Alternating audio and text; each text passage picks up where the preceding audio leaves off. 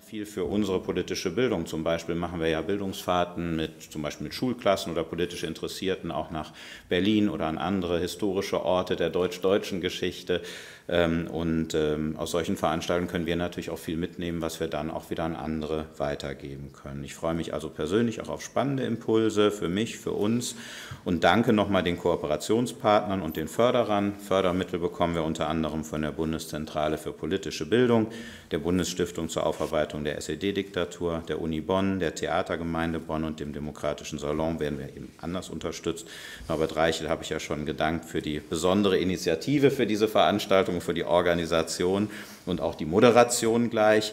Und natürlich einen ganz herzlichen Dank auch ähm, an die Autorinnen, Referentinnen, Schauspielerinnen, die den Abend heute gestalten. Kerstin Stüssel, Ines Geipel, Petra Kalkutschke und Rolf Mautz. Vielen Dank, dass Sie den Abend heute mit uns gestalten. Ich wünsche einen anregenden Abend und freue mich selbst sehr darauf.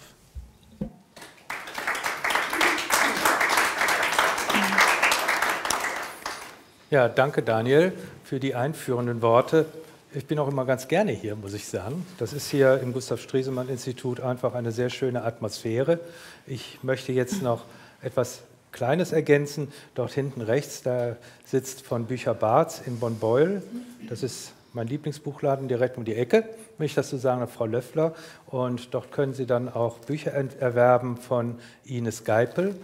Das Buch, um das es äh, im Zentrum heute geht, Gesperrte Ablage, soll ja in diesem Jahr neu äh, erscheinen. Das hat leider nicht geklappt. Sie haben das vielleicht ja auch alle mitbekommen, äh, dass der gesamte Buchhandel unter Papiermangel leidet.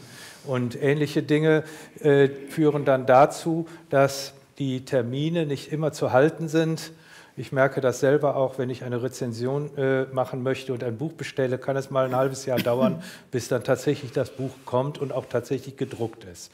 Die es gibt vier Reste. Vier Restexemplare der gesperrten Ablage sind da. Das ist ja schon mal was, aber es sind auch andere Bücher, unter anderem das in diesem Jahr neu erschienene Schöner neuer Himmel, was auch viel mit dem Thema Macht über Geist und Körper, äh, um das es heute geht, zu tun hat.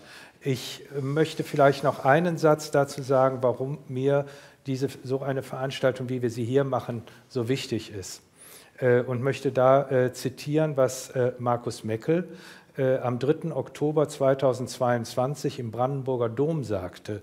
Er sagte nämlich, dass bei aller Freude darüber, was am 3. Oktober 1990 geschah, auch ein Problem immer benannt werden muss, dass nämlich hier im tiefen Westen im Westen viele Leute den Eindruck haben, als wenn die deutsche Geschichte in zwischen 1948 und, 19, und 1990 äh, in einem größeren Teil dieses Landes gar nicht stattgefunden hätte.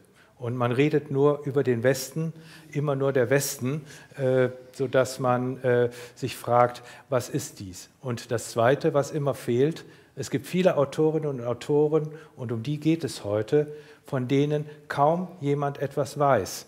Und das ist eben das große Verdienst auch von Ines Geipel, dass sie mit Joachim Walter, der leider verstorben ist, äh, die verschwiegene Bibliothek aufgebaut hat und das Archiv unterdrückter Literatur. Ich möchte jetzt dazu übergehen, dass ich vielleicht kurz vorstelle, wen Sie hier alles sehen und nicht nur heute sehen, sondern Sie werden das in den nächsten Tagen auch auf YouTube alles nochmal gucken können und natürlich weiterempfehlen. Äh, das werde ich natürlich auch auf meiner Internetseite bekannt geben, wo der Link dann ist, sodass also das, was heute geschieht, dann auch nochmal nachverfolgt werden kann. Und ich darf Ihnen sagen, es wird sich lohnen, weil wir es methodisch mal ganz anders machen, als es hier ist. Und dass wir es ganz anders machen, wird das Verdienst sein von einer Schauspielerin und einem Schauspieler, die auch hier in Bonn sehr aktiv sind, äh, Petra Kalkutschke, die auch eine äh, Geschichte hat in der DDR. Sie ist 1961 in Lauchhammer in Brandenburg geboren und hat an der Hochschule für Schauspielkunst Ernst Busch in Ostberlin studiert und ist dann 1986 äh, nach äh, Westdeutschland gegangen und war dort unter anderem äh, am Schauspiel Bonn Ensemble Mitglied. Wer vielleicht letztens den Film von Dominique Graf, Fabian oder der Gang vor die Hunde gesehen hat, der kann sie da sehen. Sie spielt nämlich die Mutter von äh, Fabian in diesem Film.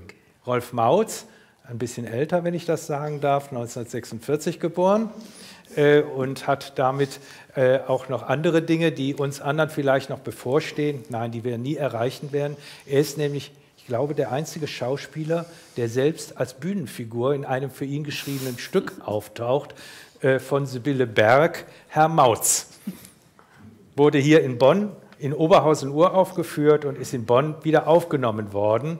Er hat mit Regisseuren wie Luc Bondy und Peter Stein gearbeitet, mit Bruno Ganz, Ulrich Wildgruber, Burkhard Klausner und war lange Zeit Ensemblemitglied in Oberhausen und nachher mit dem Intendanten Klaus Weise hier in Bonn.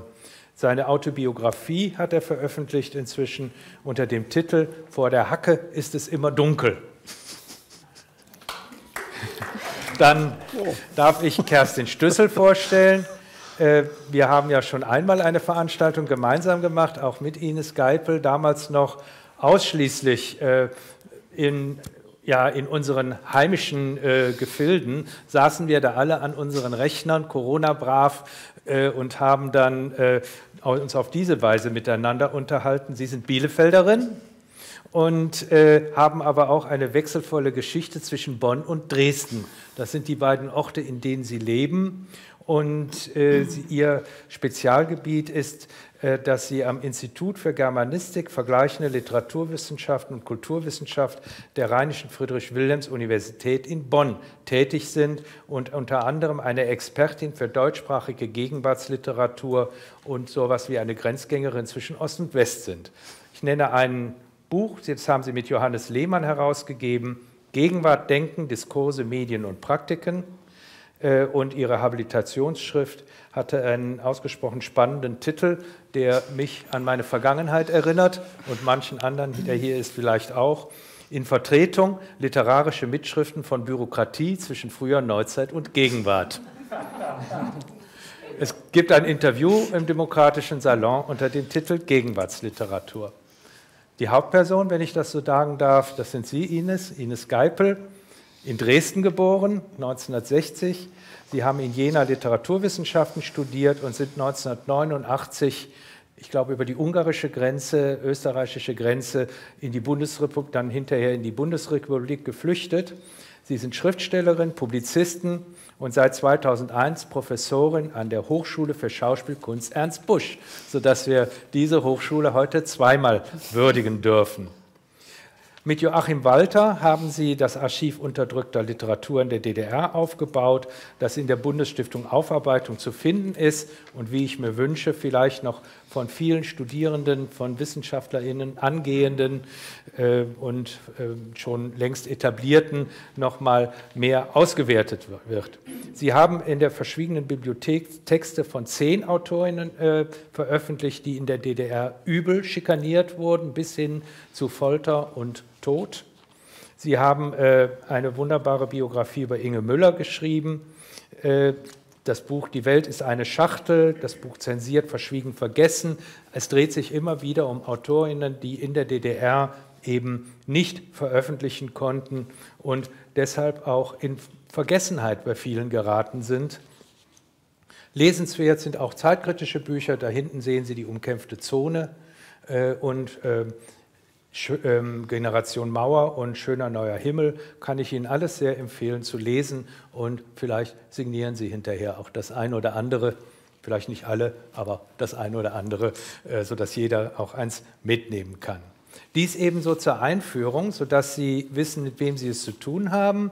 Der Ablauf wird jetzt so sein, ich werde mich mit Kerstin Stüssel jetzt ein wenig darüber unterhalten, welche literaturwissenschaftlichen Kontexte wir haben. Mit Ines Geipel werde ich ein bisschen über die gesperrte Ablage reden. Und dann wird es eine szenische Lesung geben aus unveröffentlichten Texten in der DDR. Wir haben das unter Verschluss genannt. Die Texte hat Ines Geipel ausgesucht. Sie wird aber auch Texte aus gesperrter Ablage lesen und äh, ich habe auch eine kleine Rolle dabei. Ich werde nämlich die Texte von Erich Mielke und die Stasi-Berichte von den verschiedenen in, in, informellen Mitarbeitern lesen. Äh, ist auch eine hübsche Aufgabe. Ähm, Kerstin, fangen wir miteinander an. Äh, Welche Rolle spielen äh, die Autorinnen, um die es heute geht, äh, in der Literaturwissenschaft? Wenn du so direkt fragst, muss ich auch direkt antworten, eine sehr, sehr, sehr, sehr geringe Rolle. Natürlich wird in der Literaturwissenschaft und in den Buchwissenschaften über Zensur und Literaturpolitik gehandelt, aber diese Autorschaften, die Ines Geipel und Joachim Walter zum Reden gebracht haben, auf die Bühne gestellt haben, veröffentlicht haben, sind im Kanon der, dessen, was man DDR-Literatur nennt, letztlich nicht präsent, wenn ich die Landschaft der Wissenschaft, der germanistischen Literaturwissenschaft richtig beobachte. Natürlich habe ich selber versucht, das ein bisschen zu ändern, aber äh, in einem Seminar zu DDR- und Post-DDR-Literatur rückt das dann leider auch sehr an den Rand. Das muss ich ganz offen zugeben. Und es wäre wahrscheinlich ein Versuch wert, von ihren Texten und ihren AutorInnen ausgehend die DDR-Literatur zu erschließen, das ganze Korpus, wenn man so will, zu erschließen. Und das hängt natürlich an der Verbrechensgeschichte, an der Diktaturgeschichte, äh, dass äh, diese Texte gar keine Chance hatten äh, und erst mit, mit Ines Geipels Veröffentlichung überhaupt eine Chance haben, rezipiert zu werden und wahrgenommen zu werden. Worüber redet man denn an der Universität im germanistischen Seminar, wenn man über DDR-Literatur überhaupt redet, wenn ähm, nicht über diese? Tendenziell würde ich behaupten, wir hatten im Sommer einen Workshop auch zu DDR-Literatur mit jüngeren Nachwuchswissenschaftlerinnen und Wissenschaftlern. Und da war so ein Basso Continuo im Grunde die Überlegung, ähm, dass die DDR-Literatur eben auch mit wahnsinnigen übermenschlichen Versprechungen verbunden war. Und natürlich die DDR-Literatur eine sehr viel wichtigere und relevantere Rolle in der Gesellschaft gespielt hat, ähm, als das im Westen etwa der Fall war. Das gilt natürlich nicht nur für die DDR, sondern das hat, hängt zusammen mit dem, mit dem sowjetischen Imperialismus und mit dem sowjetischen Modell, dass der Literatur so viel zugetraut wird in beiden Bedeutungen des Wortes, also positiv wie negativ zugetraut wird.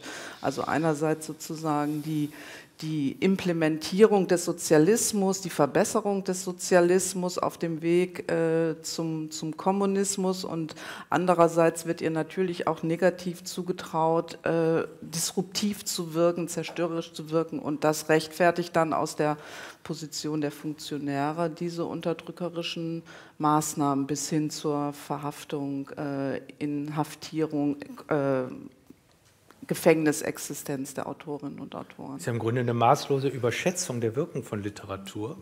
Ja, das kann man so sagen. Ähm, das äh, geht ja auch so weit, ähm, das ist jetzt bei den jüngeren äh, Wissenschaftlern ein Thema in Jena beispielsweise, dass also äh, untersucht wird, wie schon sehr früh auch der literarische Nachwuchs gefördert wird und in Poetenseminaren und in bestimmten Anthologien und Zeitschriften gefördert wird, aber gleichzeitig natürlich auch massiv beobachtet wird und auf Abweichungen hin gescannt wird.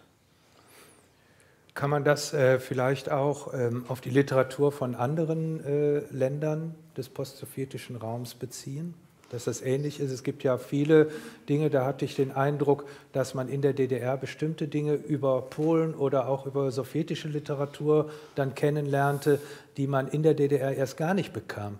Ja, das ist natürlich sozusagen die innersozialistische Differenz oder die Differenzen, die dann eine Rolle spielen. Das äh, ab einer bestimmten Zeit äh, polnische Literatur, ungarische Literatur freier erschien oder aus Sicht sozusagen auch kritischer Geister innovativer erschien äh, als sozusagen die Texte, die ja auch in großer Zahl nach dem Modell des sozialistischen Realismus in der DDR erschienen sind und die vorsichtigen Abweichungen davon. Jetzt frage ich da zum Abschluss unseres Gesprächs mal ganz provokativ, wie sähe denn eine gesamtdeutsche Literaturgeschichtsschreibung aus? Oh, das ist ein großes Thema. Also natürlich äh, müsste man ähm, die Verflechtungsgeschichte und nicht nur die innerdeutsche Verflechtungsgeschichte berücksichtigen. Man müsste die Verflechtungsgeschichte im Hinblick auf Sowjetimperialismus äh, untersuchen und man müsste natürlich auch die internationalen Verflechtungen in, in der Bundesrepublik untersuchen, also in Richtung USA. Das hat ja auch Hoch- und äh, weniger Hochzeiten gegeben, äh, was also die Gegenwartsliteratur der 60er Jahre, der 50er Jahre angeht. Also da müsste man einfach das Feld nochmal sehr erweitern. Und dann wird es natürlich auch gleich unübersichtlich. Und man muss in die Archive gehen, äh, so wie Frau Geipel das getan hat und wahrscheinlich noch mehr in die Archive gehen. Da sollten wir dann auch Studierende mal hinschicken. Ja. So Für Master- und Doktorarbeiten ja. und was auch immer. Ines, reden wir über gesperrte Ablage. Wie kam es denn dazu?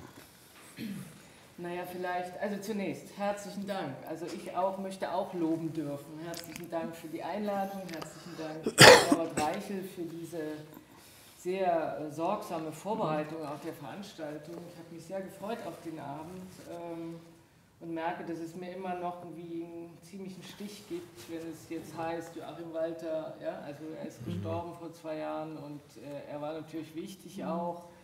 Äh, und das war eigentlich der Anfang. 96 äh, eine Herausgabe von mir zu Inge Müller.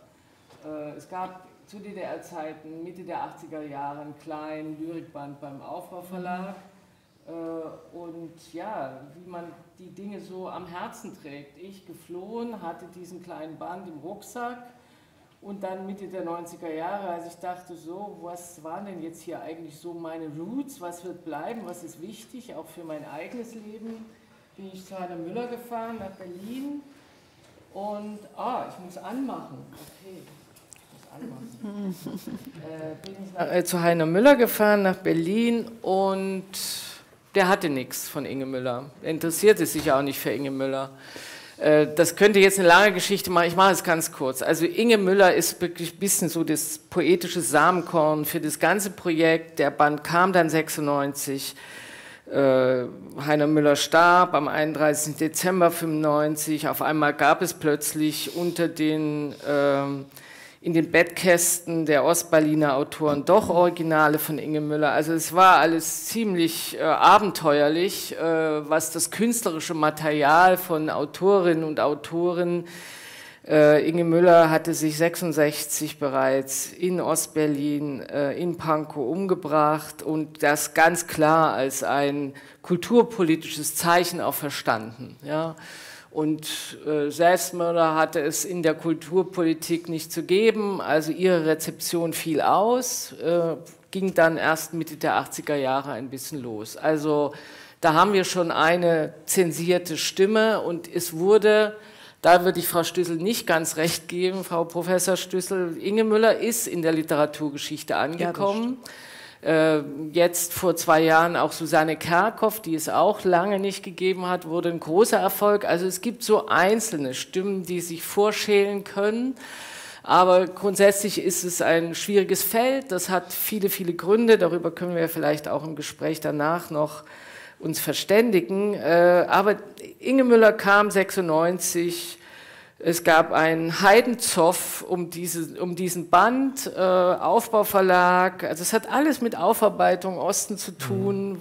wollte plötzlich diesen Band nicht mehr äh, und da spielte schon auch Herr Gysi eine Rolle. Äh, und ähm, ja, und dann dachte ich, okay, wenn das alles so schwierig ist und die Inge Müller baumelt von da oben mit den Beinen und sagt sich, okay, die Dinge, die ihr nicht geklärt habt, hier auf dieser auf diesem irdischen Feld, die kriegt ihr ähm, richtig und zwar hart zurück. Äh, der Band kam zwar mit viel, viel Streit, wurde aber sofort äh, vom Feld genommen. Also äh, dann habe ich gedacht, das lohnt sich, das muss man in Ruhe anschauen, gründlich, ohne diese ganzen Ideologismen. Jetzt muss man eben einfach ins Archiv gehen. Und ich, mir war bei diesem Band in der Vorbereitung schon aufgefallen, Namen wie Susanne Kerkhoff, Eveline Kuffel, Jutta Petzold.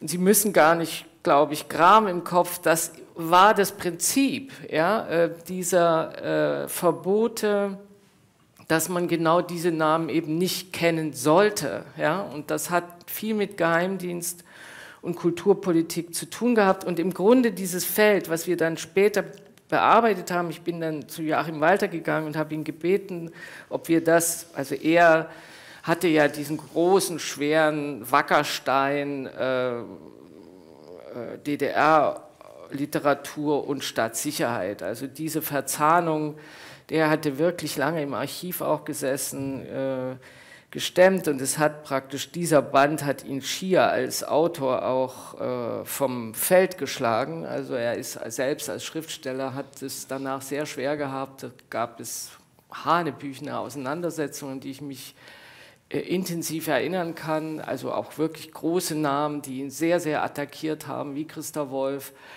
Ähm, für diese Arbeit. Äh, kurzum, wir hatten das Gefühl, wir als Schriftstellerinnen stehen hier ein Stück weit in der Pflicht. Eigentlich hätten wir gedacht, dass es die Germanisten machen, aber es war nicht der Punkt. Und dann sind wir ähm, nicht nur in die Archive, um bei Franz Fühmann oder Heiner Müller die Fremdnachlässe zu suchen, die Namen zu suchen, sondern wir haben viele Gespräche gemacht in Leipzig, in Berlin, in Jena, also subversive Szenen, wer waren die Namen, wie, welche Netze hat es gegeben. Und das hatte ein bisschen so einen Schneeballeffekt. Also wir haben auch sehr, sehr viele Interviews gegeben in der Zeit weil ja Autoren auch in den Westen gegangen sind. Ähm, aber es ist natürlich so, äh, eine Diktatur, die Literatur und Sprache immer extrem behandelt. Ähm, und äh, man sieht, dass man, diese Wasserscheide ist sehr, sehr klar. Also bestimmte Stoffe, bestimmte Ästhetiken, bestimmte politische Wege. Wir haben natürlich in dem Archiv, wir haben mittlerweile über 100 Autorinnen und Autoren gesammelt mit sehr unterschiedlichen Vor- und Nachlässen. Ähm, aber die Wasserscheide sind natürlich die Stoffe, ja, also Armee, Wahlen, Psychiatrie, all solche Sachen, ja, hatten es schwer. Äh, Autorinnen und Autoren, die in den Gefängnissen gesessen haben, äh, aus den unterschiedlichsten Gründen. Manchmal, weil sie eine Jeans anhatten oder lange Haare, manchmal, weil sie wirklich äh, äh, geschrieben haben und wir haben mit Autorinnen und Autoren gesprochen, die uns erzählt haben, wo sie ihre Texte versteckt haben. Drei Meter unter der Weide im Garten oder im, äh, auf dem Bahnhof in einem äh, Briefkasten da in so einem, wie nennt man das? Schließfach. Schließfach. Ich danke Ihnen sehr herzlich, in einem Schließfach äh, und so weiter und so fort. Also das war ziemlich abenteuerlich. Und so langsam entstand so ein Bild. Also man muss ja im Grunde äh, ein, Material suchen, äh, wo sich äh, äh, Kulturpolitik, Partei und Staatssicherheit entschieden hatten, diese Autorinnen und Autoren soll es nicht geben. Die sollen keine Stimme bekommen, sie sollen nicht öffentlich werden. Und was uns natürlich und wo wir wirklich oft ähm, still geworden sind, äh, was sehr zusammenhängt, also äh, diese, ich, ich nenne es die dritte Literatur des Ostens. Ja? Also es gab diese staatskonform oder sehr staatsnahen, wie etwa Hermann Kant. Es gab die eher kritisch loyalen, da würde ich Christa Wolf, Irmtraut Morgner, all diese doch sehr bekannten, auch im Westen bekannten Stimmen dazuzählen. Und eben diese dritte Literatur, die ähm, keinen Namen, diese andere Literatur, ja, diese Literatur der Gegenworte, ähm, die unbenannt bleiben sollten und es auch blieben. Und wenn dann meinetwegen eine Edeltraut Eckert mit 20 Jahren, 19 Jahren inhaftiert wird, mit 24 Jahren im Gefängnis oder im, im, im, im Haftkrankenhaus auf schlimmste Weise verreckt, ähm, in den 50er Jahren, dann ist es ein weiter Weg bis ins Jahr 2022 und einer vollgültigen Rezeption. Das kann man sich vorstellen. Ja? Also wir haben im Grunde gegen verschiedene Palisaden an Sprechen oder an Recherchieren, an veröffentlichen müssen. Und es hat natürlich eben auch mit dem Zustand der Feuilletons heute zu tun. Ja? Ein Feuilletonchef sagt dann, ja, wenn ich die nicht kenne, dann ist es auch keine Literatur. Ja? So mal ganz knapp gesagt. Also da gibt es mehrere Stufen der neuerlichen Verhinderung auch nach 89. Es ist nicht so, dass diese Autorinnen und Autoren 89 an den an den Säulen der Großverlage gerüttelt haben gesagt haben, wir haben hier gelitten und jetzt müssen sie uns veröffentlichen. Die waren natürlich schwer gezeichnet von diesen 40 Jahren ja, oder wie lang auch immer. Diktaturzeit, äh, bei einigen sind, ist auch nach 89 hat es hane, harsche, harsche Brüche gegeben im Leben mit Suiziden, mit Psychiatrie und so weiter. Das erzählt im Grunde eigentlich knapp gesagt nur etwas, dass hier ein hochkarätiger Konflikt stattgefunden hat, äh, der viel Lebenssubstanz gekostet hat und auch viel Ideensubstanz. Es geht ja im Grunde auch um die Intellektualität des Ostens, ja, so, die äh, in den Riss der Geschichte gefallen ist. Also was wir präsentieren können, diese 100 Autorinnen und Autoren, kurz gesagt, Sie haben es gesagt, Herr Reichel, mit der zehnbändigen Ausgabe, die geschwerte Ablage, es wird immer ein Fragment bleiben, das müssen wir uns klar machen. Ja. Wir werden ja heute neun Autorinnen kennenlernen. Oder vielleicht kennt ein oder andere äh, die ein oder anderen davon.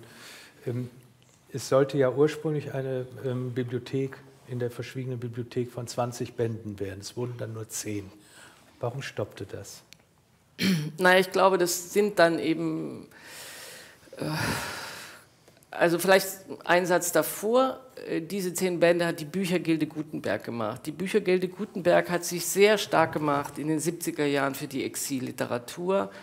Und im Grunde das, was mit den ostdeutschen Autorinnen passiert, ist so sehr anders am Ende auch nicht. Also die Exilliteraten haben sich auch erst sehr spät, ja, also Else Lasker Schüler, äh, Gertrud Kolmer, all diese Namen, die jetzt so zur Literatur, die gar nicht mehr wegzudenken sind, haben auch einen sehr langen Weg genommen, bis sie zu der Rezeption gefunden haben, die ihnen zusteht. Ja.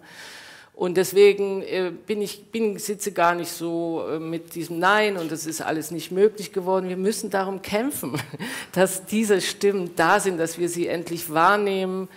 Äh, und ähm, ich finde, das Kriterium für Literatur ist ja nicht immer Nobelpreis oder ja, Weltliteratur. Manchmal ist es ein kleiner Band, den man für ein Leben lang mit sich schleppt, weil man ja, sein Herz äh, daran bindet. Also ich äh, finde das immer sehr merkwürdig, was wir uns da immer so, ja, kenne ich nicht, interessiert mich nicht. Ich glaube und bin ganz sicher, dass diese Autorinnen und Autoren ihren Weg machen werden. Wir haben tolle junge Leute, meine Studierenden, äh, arbeiten gerade zur unveröffentlichten Literatur, sind total begeistert und es ist schwer. Es ist auch für heutige ja, äh, Autorinnen und Autoren nicht einfach, sich einen Namen zu machen. Und wenn eben äh, der Markt so funktioniert über Kim, äh, ja, Buchpreis, Horizon, Horizon äh, praktisch das sind schon sehr schillernde Figuren, die jetzt sozusagen so einen äh, äh, Medienaufriss äh, bekommen. Ähm, das äh, wird diesen Autorinnen in der Form nicht möglich sein. Dann müssen wir andere Wege. Wir müssen mehr Esprit entwickeln, damit diese Stimmen da sind für uns. Also dass wir äh, gar, auch gar, ich glaube, da hängen so viele Fragen dran, dass man so sagt, ja, wird diese Literatur den Kanon kippen oder so. Ich finde, es geht nicht darum. Es geht darum, dass sie da sind, dass sie da sein dürfen, dass wir sie wahrnehmen können. Und ja, wir, wir haben eben mit zehn gestartet. Die Büchergilde hat gedacht, ja, da gibt es gleich 30, 40.000 Exemplare, die verkauft werden. Es ist gar nicht so schlecht verkauft worden, aber der Verlag hat sich eben was anderes vorgestellt. Dann gibt es jetzt erstmal einen Unterbruch und dann starten wir eben neu. Geht nicht anders. Aber die Bücher sind alle erhältlich. Ich habe sie ja im Buchladen gekriegt. Manche muss man antiquarisch dann besorgen, aber man kriegt sie alle. Und da kann ich also nur äh, anregen, dies zu tun. Und wir wollen ja noch eine Anthologie machen, wir beide. Ja, ja, das haben wir uns letztes Mal so ausgedacht. Das werden wir nächstens besprechen. Da. Ja, dann würde ich, schlage ich jetzt mal vor, dass wir mit unserer szenischen Lesung beginnen. Unter Verschluss. Rolf Günther Kolkiewicz wurde am 19. November 1955 in Erfurt geboren. Ausbildung zum Elektronikfacharbeiter, Schauspielstudium, Schauspieler am Hans-Otto-Theater in Potsdam. 1942, 82 Austritt aus der SED, 1984 OV Bühne, im Juli 1984 Verhaftung. Urteil ein Jahr und sechs Monate. Juli 85 Abschiebung in die Bundesrepublik. Nach der Wende wieder tätig am Hans-Otto-Theater, 1997 bis 2004 als dessen Intendant. Er erkrankte an Parkinson und starb am 5. Oktober 2008 in Phuket in Thailand. Das Urteil wurde gesprochen, bevor Anklage erhoben worden war. Die inoffiziellen Schnüffler Ernst, Rudi und Maria Zimmer wurden in die Spur gesetzt. Am 5. Juli dann die heimliche Wohnungsdurchsuchung, bei der die Texte fotografiert, umgehend gelesen und bewertet wurden.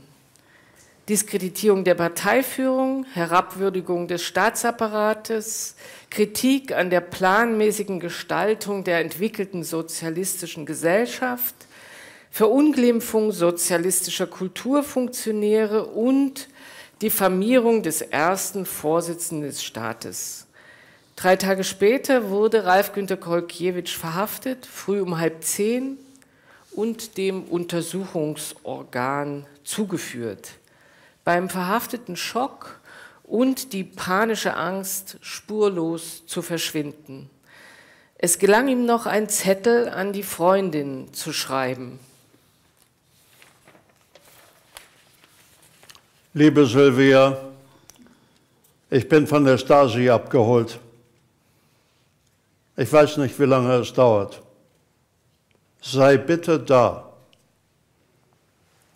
2. Juli 1984, IM Auskunftsbericht. Die bei der Lesung vorgetragenen Machwerke des Kolkiewicz mit negativ politischem Inhalt führen die Diskreditierung der Parteiführung und die Herabwürdigung des Staatsapparates herbei. Die inkriminierten Schriften werden sichergestellt. Kolkiewicz wird dem Untersuchungsorgan zugeführt. Erinnerung 1. An jenem Tag im Juli, als sie in der Tür standen, als sie ins Zimmer traten, als sie mich links und rechts, ein Dritter vorneweg, über den Hof führten, an Briefkästen vorbei, in ihr Auto zerrten, ging da niemand um neun Uhr in der Früh durch die Stadt mit geöffneten Augen?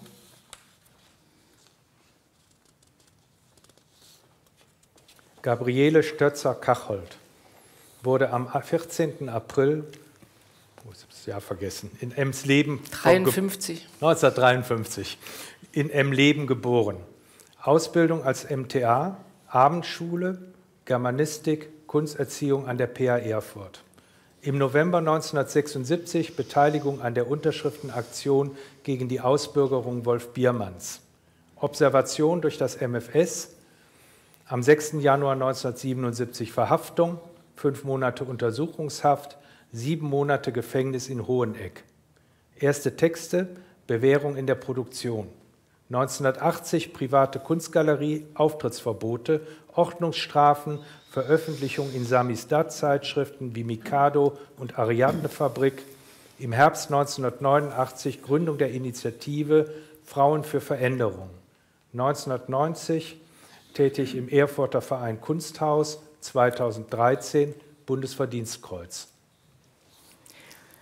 Sie erfuhr den tiefen Fall aus der Ordnung und begriff, wie in einer Diktatur auch der gutwillige Ansatz eines reformerischen Engagements gnadenlos kriminalisiert werden kann. Nicht nur die Freiheit wurde ihr genommen, sondern auch ihr Körper enteignet. Doch gerade dort im Gefängnis erlebte sie die Kraft der anderen inhaftierten Frauen und vor allen Dingen auch zunehmend ihre eigene. Sie hatte alles verloren und beschloss, nach der Haftentlassung konsequent mit dem Schreiben zu beginnen.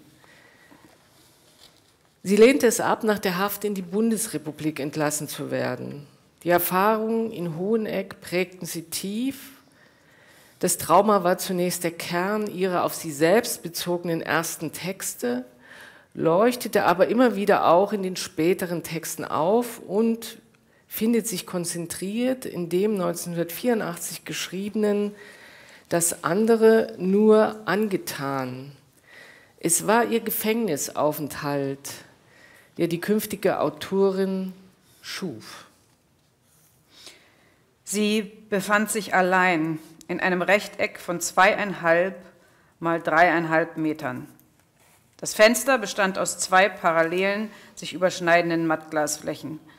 Sie stellte sich darunter, um hinauszublicken, aber sie konnte in keiner Verrenkung den Himmel sehen. So hoch wie damals habe ich nie mehr gedacht. Alles Kleine wurde aus einem rausgeschwemmt. Stasi-Chef Mielke, Juli 1972. Unsere besondere Aufmerksamkeit gilt all jenen, von denen vielfältige Versuche ausgehen, die Linie und die Politik unserer Partei zu entstellen und zu verfälschen. Es darf auch in der Kunst kein Paktieren mit dem Gegner, mit gegnerischer Ideologie und Auffassungen zugelassen werden.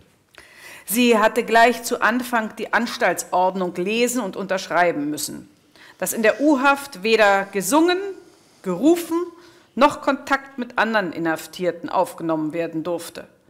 Nachts musste der Kopf unbedeckt sein und die Hände hatten sichtbar auf der Zudecke zu liegen. Bei jedem Öffnen der Tür war es Pflicht, aufzustehen und sich zu melden. Ich versuchte, die Klopfzeichen der anderen zu entschlüsseln. Es musste irgendein Code sein, mit dem sie sich verständigten. Ich zählte jedes Klopfen, versah es mit einer Zahl und schrieb sie mit Malzkaffee auf die Tischplatte. Edeltraut Eckert wurde am 20. März 1930 im damaligen Hindenburg, vormals und auch heute wieder Sapsche, geboren. 1941 Umzug nach Litzmannstadt, Wuj. Flucht nach Brandenburg an der Havel, Mitglied der FDJ, Abitur, Immatrikulation an der PH der Humboldt-Universität Berlin. Mitglied einer jugendlichen Widerstandsgruppe, Verhaftung am 10. Mai 1950, Urteil 25 Jahre Arbeitslager. Haft in Bautzen und Waldheim. Juli 1953 bis März 1954 Erlaubnis, ihre Gedichte und Kompositionen in ein Heft zu übertragen. Tuberkulose. 1954 Hoheneck. Am 24. Januar 1955 Skalpierung bei einem Arbeitsunfall, keine medizinische Versorgung, Tod an Tetanus am 18. April 1955. Die 101 erhaltenen Gedichte von Edeltraut Eckert sind die Intensivexposition für ihr späteres Werk, stehen aber auch exemplarisch für Maß, Kreativität und Eigensinn einer verhinderten Schreibgeneration junger Stimmen in der frühen DDR. Jeder Text setzte eine Gegenwelt, die eigene Sprache als Existenzbeweis. Üblicherweise erhielten die Häftlinge in den Zuchthäusern der frühen DDR kein einziges Stück Papier. Stattdessen memorierten sie ihre Texte während der Haftzeit im Kopf. Die gefangene Kopfsprache als ortlose Schrift. Im März 1954 wurde die inzwischen 24-jährige Edeltraut Eckert in die Strafanstalt Hoheneck verlegt, in das größte und mit hartem Regiment geführte Frauenzuchthaus der DDR.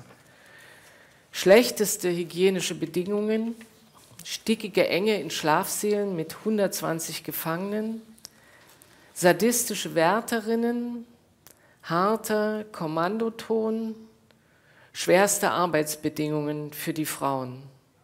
Strafvollzugsanstalt Waldheim, Sachsen, den 11. April 1951. Ihr Lieben, Dank für den Brief und Paket. Der Kuchen, ein heimlicher Wunsch, entweder immer Mohn oder öfter Geburtstag. Macht euch um mich keine Sorgen. Ich gehe hier durch eine harte, aber gute Schule. Deshalb wird das Leben später bewusster und noch schöner. Man muss wohl erst Abstand von sich selbst und den Dingen gewonnen haben, um bereit zu sein für das, was einem bestimmt ist. Macht euch also keine Sorgen, aber macht euch auch keinerlei Hoffnung, etwa auf meine Heimkehr. Ich glaube nur noch an das, was ich sehe. Rauchen werde ich nach wie vor. Damit müsst ihr euch schon abfinden. Eine Zigarette schadet nichts, gibt aber einen ganzen Tag Freude.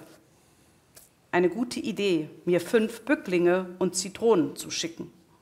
Euch allen wünsche ich den frohen Mut, den ich selber habe. Wie immer, ganz eure Traudel. Zuchthaus Waldheim, Anordnung für den Empfänger.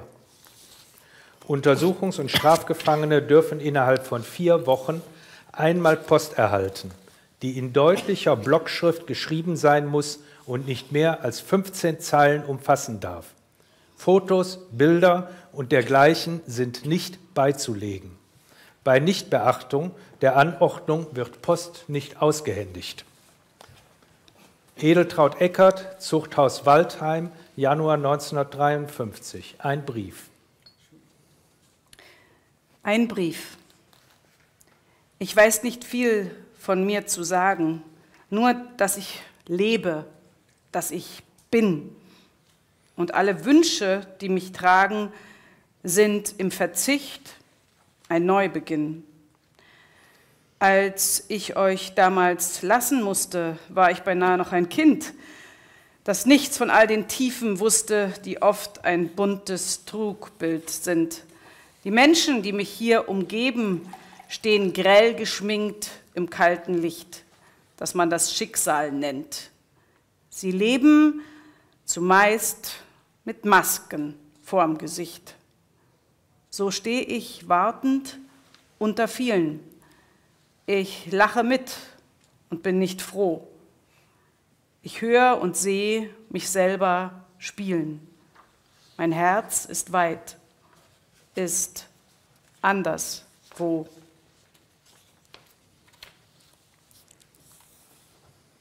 Jutta Petzold, Pseudonym Ruth Corduan, wurde am 22. Dezember 1933 in Berlin geboren.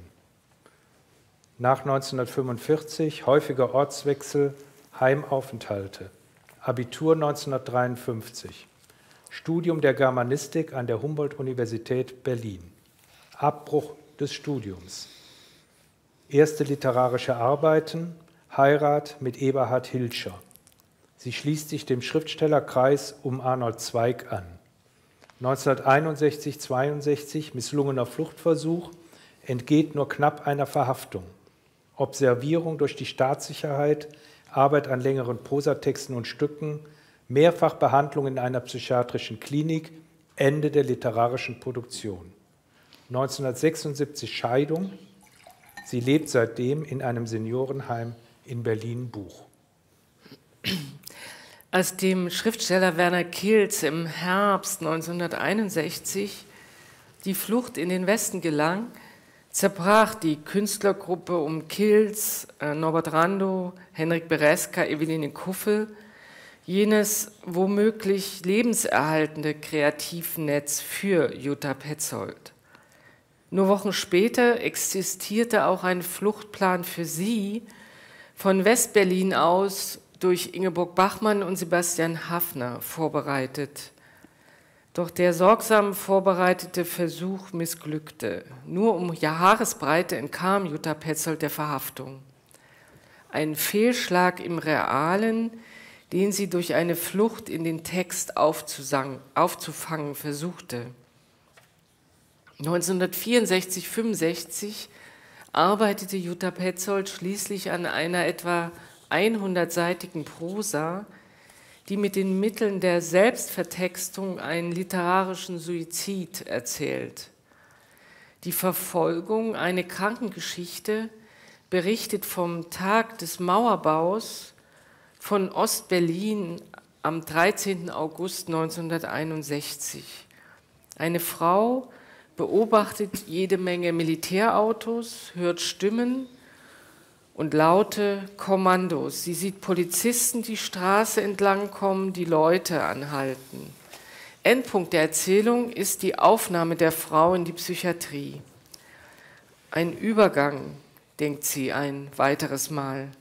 Doch zwischen der Normalität der Psychiatrie und der Unnormalität der Welt, in der sie lebt, gibt es keinen Unterschied mehr.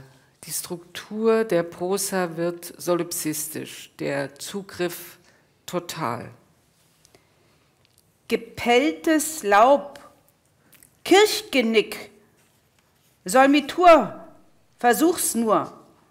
Claudia Wojtek, Rückfall, Sormatik, Mesodratik, Muskujosamt, verfremdeter Effekt. Stanislaus Merowings Ding. Lapizula Totrem Tokvi. Halun. Ich kenne deine stille, hoffnungslos verlorene Welt. Hato Dedai, Marobus Osei, Filsungen, halb Astor sehen. Jutta ist schön. Mobile Steh war neuch, Komitee. Kristallmann sei, Kolnu, Okai.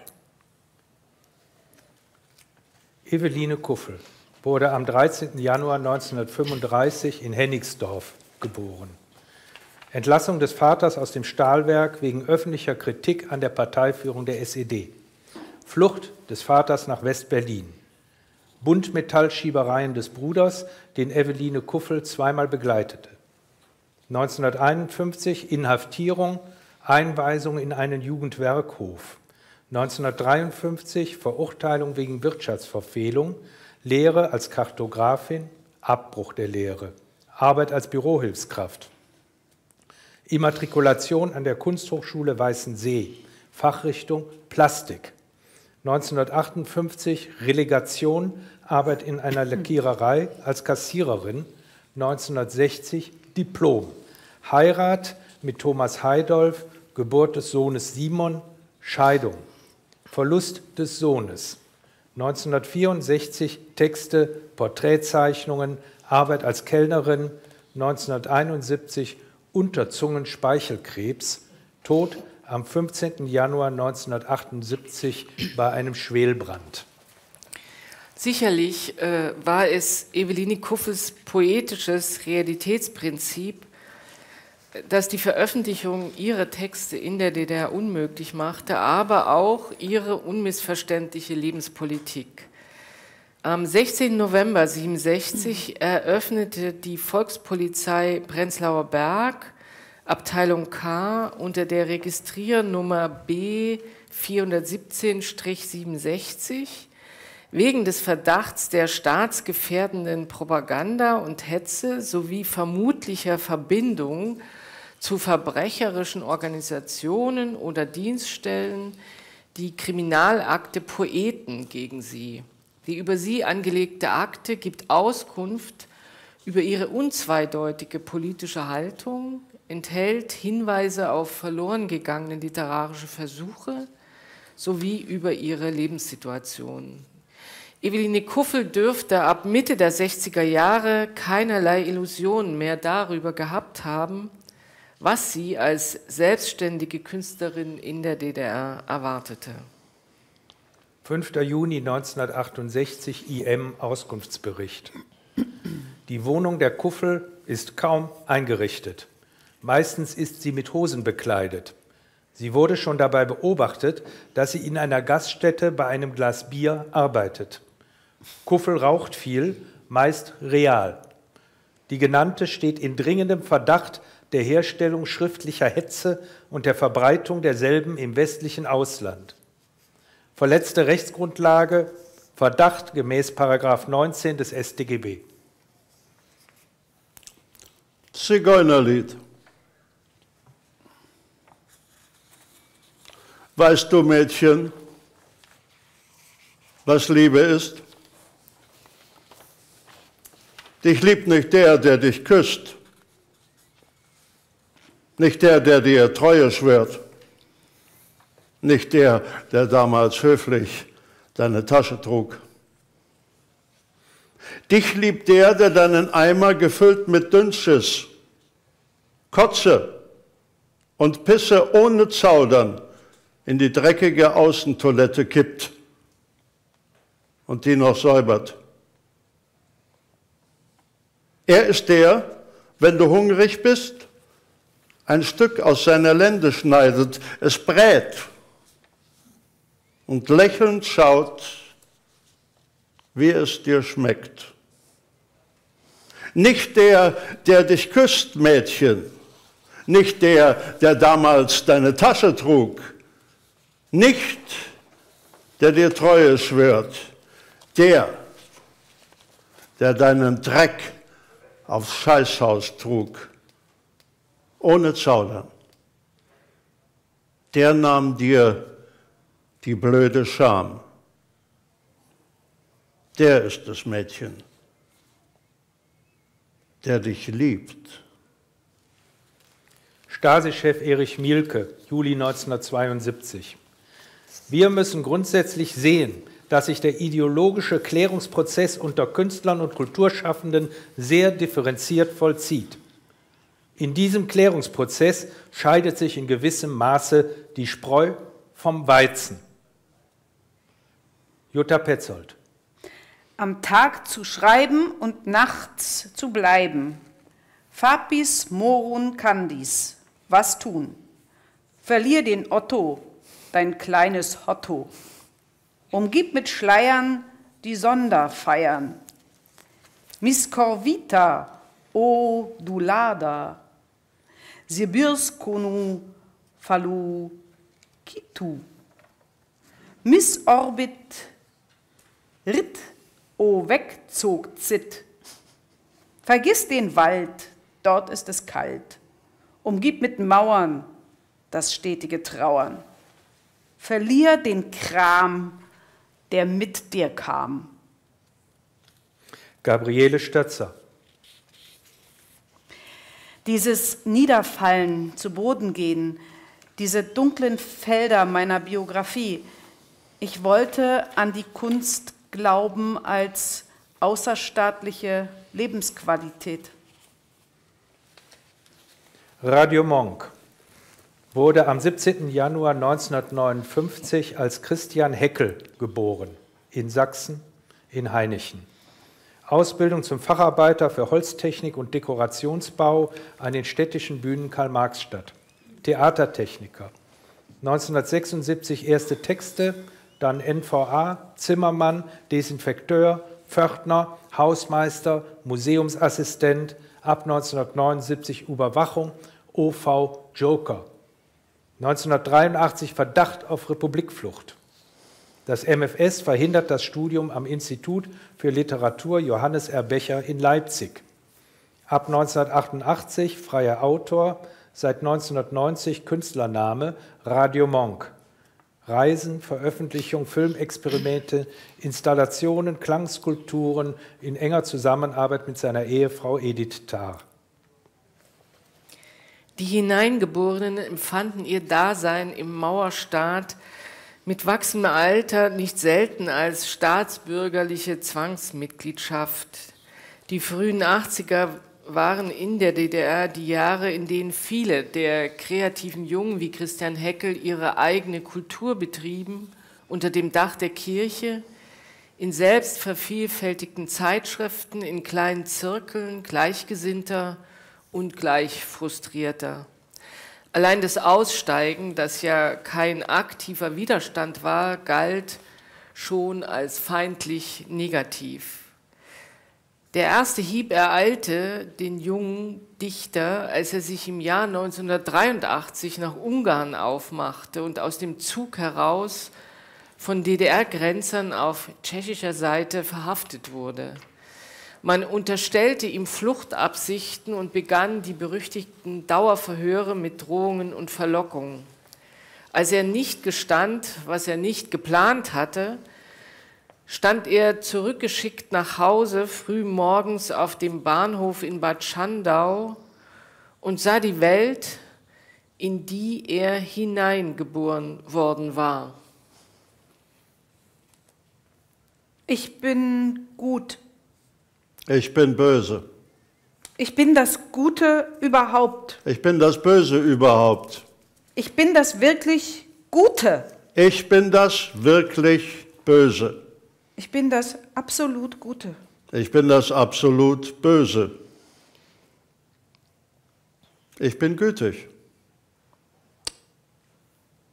Ich bin abweisend. Ich bin großzügig. Ich bin kleinlich. Ich bin geduldig. Ich bin zwanghaft. Ich bin tolerant. Ich bin selbstsüchtig. Ich bin zärtlich. Ich bin brutal. Ich bin warm. Ich bin kalt. Ich muntere auf. Ich mache mies. Ich bin wie die Liebe. Ich bin wie der Hass. Ich bin der Gipfel. Ich bin der Abgrund. Ich esse und trinke. Ich hungere und durste. Ich atme und küsse. Ich ersticke und beiße. Ich erwecke. Ich vollstrecke. Ich will dich anschauen. Ich will dich durchschauen. Ich will dich fühlen. Ich will dich verführen. Ich will dich befreien. Ich will dich besitzen. Jutta Petzold. Oft, wenn sie die Dicke der Mauern betrachtete, dachte sie, das kann doch nicht wahr sein. Später erzählten ihr andere Gefangene, dass die Behaarung durch ein spezielles Mittel hervorgerufen würde, das dem Ge Gefangenenkaffee zugesetzt sei. Sie nannten es Hengulin. Der Sinn. Das Wasser fließt, die Wolken ziehen, der Wind weht, das Licht leuchtet, die Leiber pulsen, die Bäume grünen, die Kinder spielen, die Ärzte heilen, weinen und eilen. Thomas Körner wurde am 3. November 1942 in Breslau geboren. 1945 Flucht nach Sachsen, aufgewachsen bei Dresden, Studium in Berlin, drei Semester Medizin, acht Semester Jura, experimentelle Gedichte, Stücke, Prosa. Arbeit als Krankenpfleger, Fensterputzer, Richterassistent und als Librettist für Paul Dessau. Seit 1970 Arbeit am neunteiligen Fragmentroman Das Land aller Übel. 1980 Flucht in die Bundesrepublik.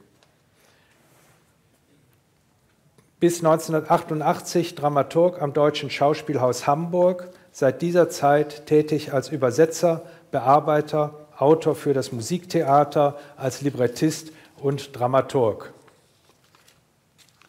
Von seinem Fragmentroman wurde ein Teil mit dem Titel Das Grab des Novalis, dramatisierter Essay, im Jahr 2007 in die verschwiegene Bibliothek veröffentlicht. Körners äh, Fragmentroman Das Land aller Übel ist das lange und auch gründlich geplante und über Jahrzehnte konsequent ausgeführte Projekt in das Innere einer Weltanschauung vorzustoßen, die das 20. Jahrhundert wesentlich geprägt hat. Diesen glühenden Kern, der über Jahrzehnte das Leben von Millionen Menschen beherrscht und epochale Illusionen und gigantische Verbrechen hervorgebracht hat, mit allen Mitteln der Kunst aufzubrechen und in seine Teile zu zerlegen, war das erklärte Anliegen des Autors. Der Gegenstand ist ernst, zu ernst, als dass er ohne satirischen Zugriff zu bewältigen wäre. Und so sieht man hinter dem klar strukturierten Konzept dieser literarischen Generalinventur einer heillosen Heilsversprechung die Konturen von Petronius, Rabelais oder auch Grimmelshausen. Thomas Körner, zwei Porträts, eine Stimme. Hm. Ja. Warum? Ach. Du. Und ich? Dachte einer. Von Ihnen. Leidest du? Neuerdings. Na. Ich, ich bin, bin froh, froh, dass ich dich getroffen habe. Ich muss mit dir reden. Es geht um die Schichtauslastung bei uns. Junge. Das ist ein Ding. Die machen uns Schwierigkeiten. Mensch. Ich sage dir Probleme. Lauter Probleme. Das wird allerhöchste Eisenbahn. Dass da mal von oben runter einer ein Machtwort spricht. Ich weiß nicht. Harry, aber wir haben nun die neuen Schlitten. Oder? Nicht. Wir, wir haben sie. sie. Und jetzt stehen Sie Acht Stunden. Ja. Bitte. Hier. Sind Sie. Konkret. Ausgearbeitet. Hieb- und stichfest. Aber. Wer. Weiß. Welches. Es. Ist. Dann gib her. Da. Siehst du? Da. Onkel Harry. Richtig. Täglich. Und länger. Was sagst du? Aber. Das ist nicht möglich. Es ist. So. Und ich sage keine 60 Prozent. Also das ist mir unerklärlich. Es wurde lang und breit darüber geredet. Ja. Und, und es, es, kamen vernünftige, vernünftige Vorschläge. Von uns gedacht. Nein. Es geht ja. nicht mehr. Du musst selbst. Nein. Besser du. Geh gleich zu Quack. Damit. Damit?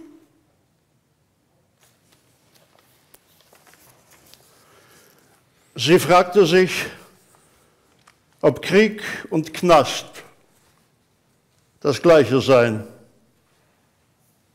weil man in beides ging, um für etwas zu kämpfen.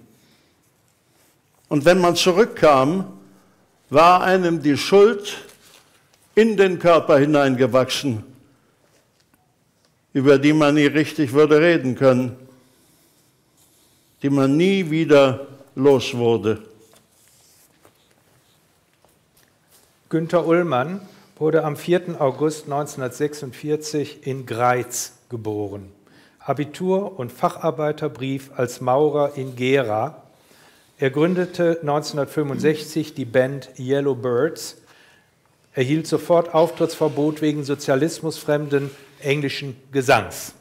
1965 Bekanntschaft mit Ibrahim Böhme, Komponist, Texter, Maler, Dienst in der NVA. 1968 Verhaftung wegen Solidaritätsbekundung mit dem Prager Frühling. Heirat, Studium am Institut für Literatur Johannes R. Becher wurde abgelehnt. 1977 massive Verhöre durch die Staatssicherheit wegen Protestschreiben zur Ausbürgerung Biermanns und Kunzes, Suizidversuche, psychiatrische Behandlung. 1990 Arbeit im Kulturamt und im Heimatmuseum Greiz.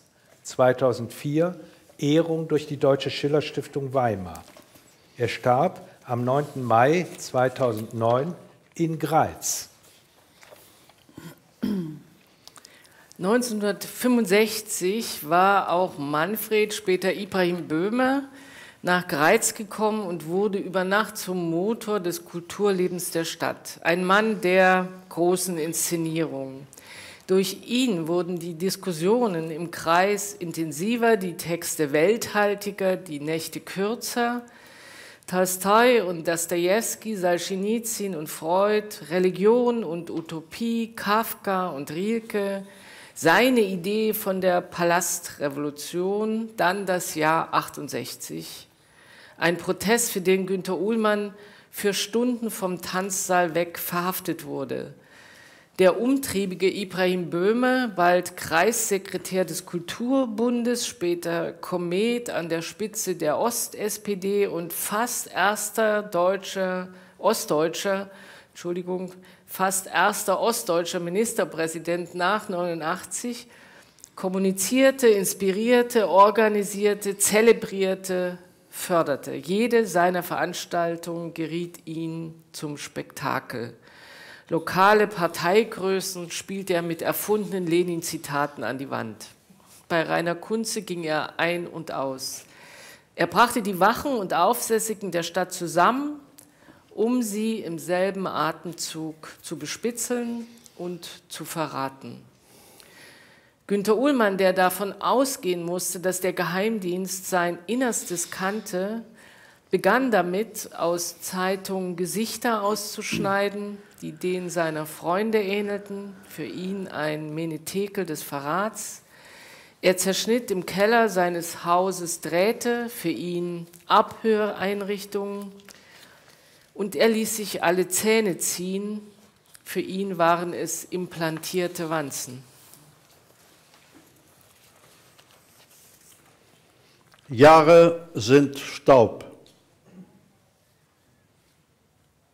Jeder Tag ist ein Messer am Kind.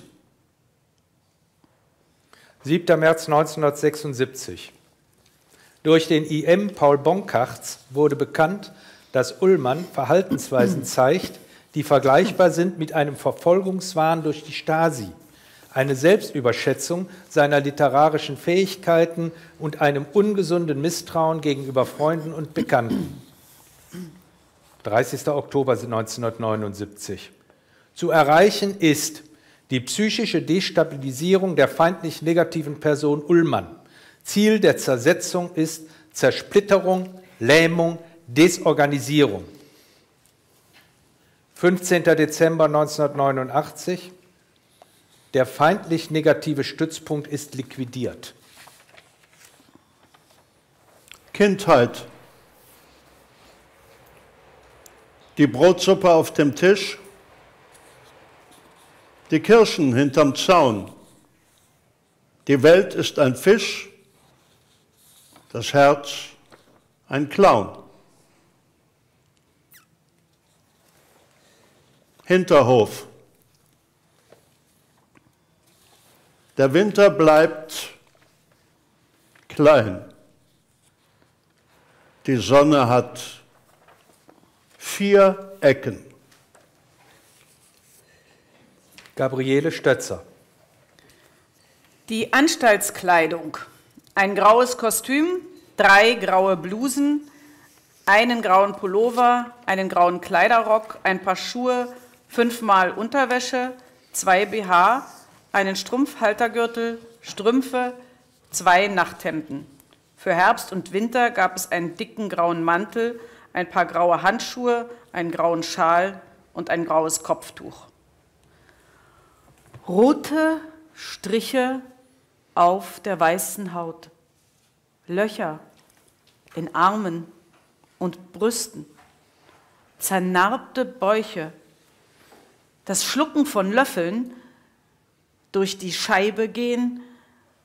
Die Versuche, sich die Adern aufzuschneiden, wurden Schnippeln genannt. Aus Stasi-Schulungsmaterial. Bewährte Mittel und Methoden der Zersetzung sind Telefonanrufe, kompromittierende Fotos, zum Beispiel von stattgefundenen oder vorgetäuschten Begegnungen, die gezielte Verbreitung von Gerüchten, gezielte Indiskretionen, systematische Diskreditierung des öffentlichen Rufes, systematische Organisierung beruflicher und gesellschaftlicher Misserfolge, Erzeugung von Zweifeln an der persönlichen Perspektive, Vorladung von Personen zu staatlichen Dienststellen oder gesellschaftlichen Organisationen mit glaubhafter oder unglaubhafter Begründung. Jutta Petzold, Entrümpeler. Entrümpeler. Die Winde, sie küssen und rauschen, die Schwäne auf tauiger Flut. Die Mauern, sie können nicht tauschen. Der Himmel ist manchmal auch gut. Er bringt uns die Stürme und Schliefen und jagt unser schwankendes Schiff. Die Wolken, die Lieder, die Schiefen. Wir sichten das kommende Riff. Hi, Steuermann, ho, auf die Wanten, solange der Mast nicht zerbricht. Und klettern wir auch in den Spanten, solange uns leuchtet das Licht. Heidemarie Hertel wurde am 22. Dezember 1943 in Oelsnitz geboren. Vater NVA-Offizier, viele Umzüge, Abitur, Facharbeiterlehre für Wasserbau, Studium für Bauwesen in Dresden. 1967 bis 1970 Studium am Institut für Literatur Johannes R. Becher. Begegnung mit Gerd Neumann, Geburt des Sohnes Holden. 1970 Exmatrikulation wegen provokatorischer Ansichten zur Literatur. Arbeit als Stanzerin, Korrektorin in der Blindenbücherei in Leipzig. Zirkelleiterin der Schreibenden Pioniere im Haus der jungen Pioniere. 1977 die einzige Veröffentlichung. Ach, ich zog den blauen Anzug an. Späte Mitarbeit an der Samistad-Zeitschrift Anschlag. 1987 Lesereise mit Gerd Neumann in die Bundesrepublik, Rückkehr in die DDR alleine. Herbst 1989 Begegnung mit Ibrahim Böhme. 1991 Scheidung nach Offenlegung der Stasi-Vergangenheit Ibrahim Böhmes Einlieferung in die Psychiatrie. Ab 1991 Unterricht von kreativem Schreiben. Sie starb am 23. November 1993 in Leipzig. Heidemarie Hertel fand durch die 20 Jahre dauernde intensive, ja symbiotische Bindung äh, an Gerd Neumann zu ihrer Literatur und zu einer klaren Haltung. Schreiben und Liebe als ein intimer Rückzugsraum, als Enklave im empfundenen Nichts, als Experiment in gelebter Zweiheit. Ihnen beiden war alles Literatur, das Schreiben existenziell, die langen Gespräche über ein gemeinsames, tragfähiges Schreibkonzept, ihren Wahrheitsdialog, wie sie das nannten. Das Hereinholen der Weltliteratur und der Moderne in das karge Sprachterritorium DDR. Das Etablieren der Poesie als Überlebensraum, das Anknüpfen an die gekappten Traditionen autonomen und sprachkritischen Schreibens vor den beiden deutschen Diktaturen, die Verteidigung ihres Denkens und Schreibens, ihrer sich immer klarer konturierenden eigenständigen Sprache, auch ihrer Liebe, ihres gemeinsamen Kindes gegen die vielfältigen Nachstellungen des gewalttätigen Staates. Ihr Credo, die poetische Würde des Lebens, eine Poetik des Widerstandes gegen die wie Sie es selber nannten, Diktatur der sogenannten schwarzen Wörter, also von Wörtern wie Observation, Ideologie, Macht, Zensur. 21. Januar 1975 IM Auskunftsbericht. Die Verunsicherung der verdächtigten Hertel zeigt sich auch im Zusammenhang mit einer Maßnahme unserer Diensteinheit in ihrem Wohnobjekt. Dazu wurden alle Bewohner des Hauses unter einer Legende außerhalb des Objektes gebunden. Zu einer Dekonspiration der Maßnahme kam es nicht. Die Verdächtigte stellte jedoch Mutmaßungen darüber an, ob die Häufung bestimmter Geschehnisse an diesem Tag Zufall war oder nicht. Heidemarie Hertel. Die Form eines, des Tages gibt zu wenig her. Ich verlange Transzendenz. Ich bin nicht inspiriert. Ich trinke Kaffee und hoffe. Das ist es. Ich muss nachdenken. Ich brauche Zeit. 30. März 1976, IM-Auskunftsbericht. Inoffiziell wurde bekannt, dass die Hertel geheime Lesungen organisiert und durchführt. Wo finden diese Lesungen statt? Wer nimmt daran teil? Welchen Inhalt haben sie? Wer hat Kenntnis davon? Wo kann Beweismaterial liegen? Welche EMs sind da, um Beziehungen zur Hertel aufzubauen? Heidemarie Hertel. Sie fasste alle Empfindungen des Tages zusammen.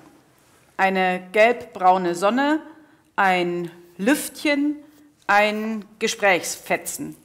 Mehr wünscht man sich doch nicht. Menschen mit Wimpern und gewölbten Fingernägeln, mit Haut wie der eigenen. Menschen, die in der Lage sind, das zu sehen, die Härchen auf den Armen zum Beispiel. 12. Dezember 1969, Gutachten des Leipziger Literaturinstituts Johannes R. Becher.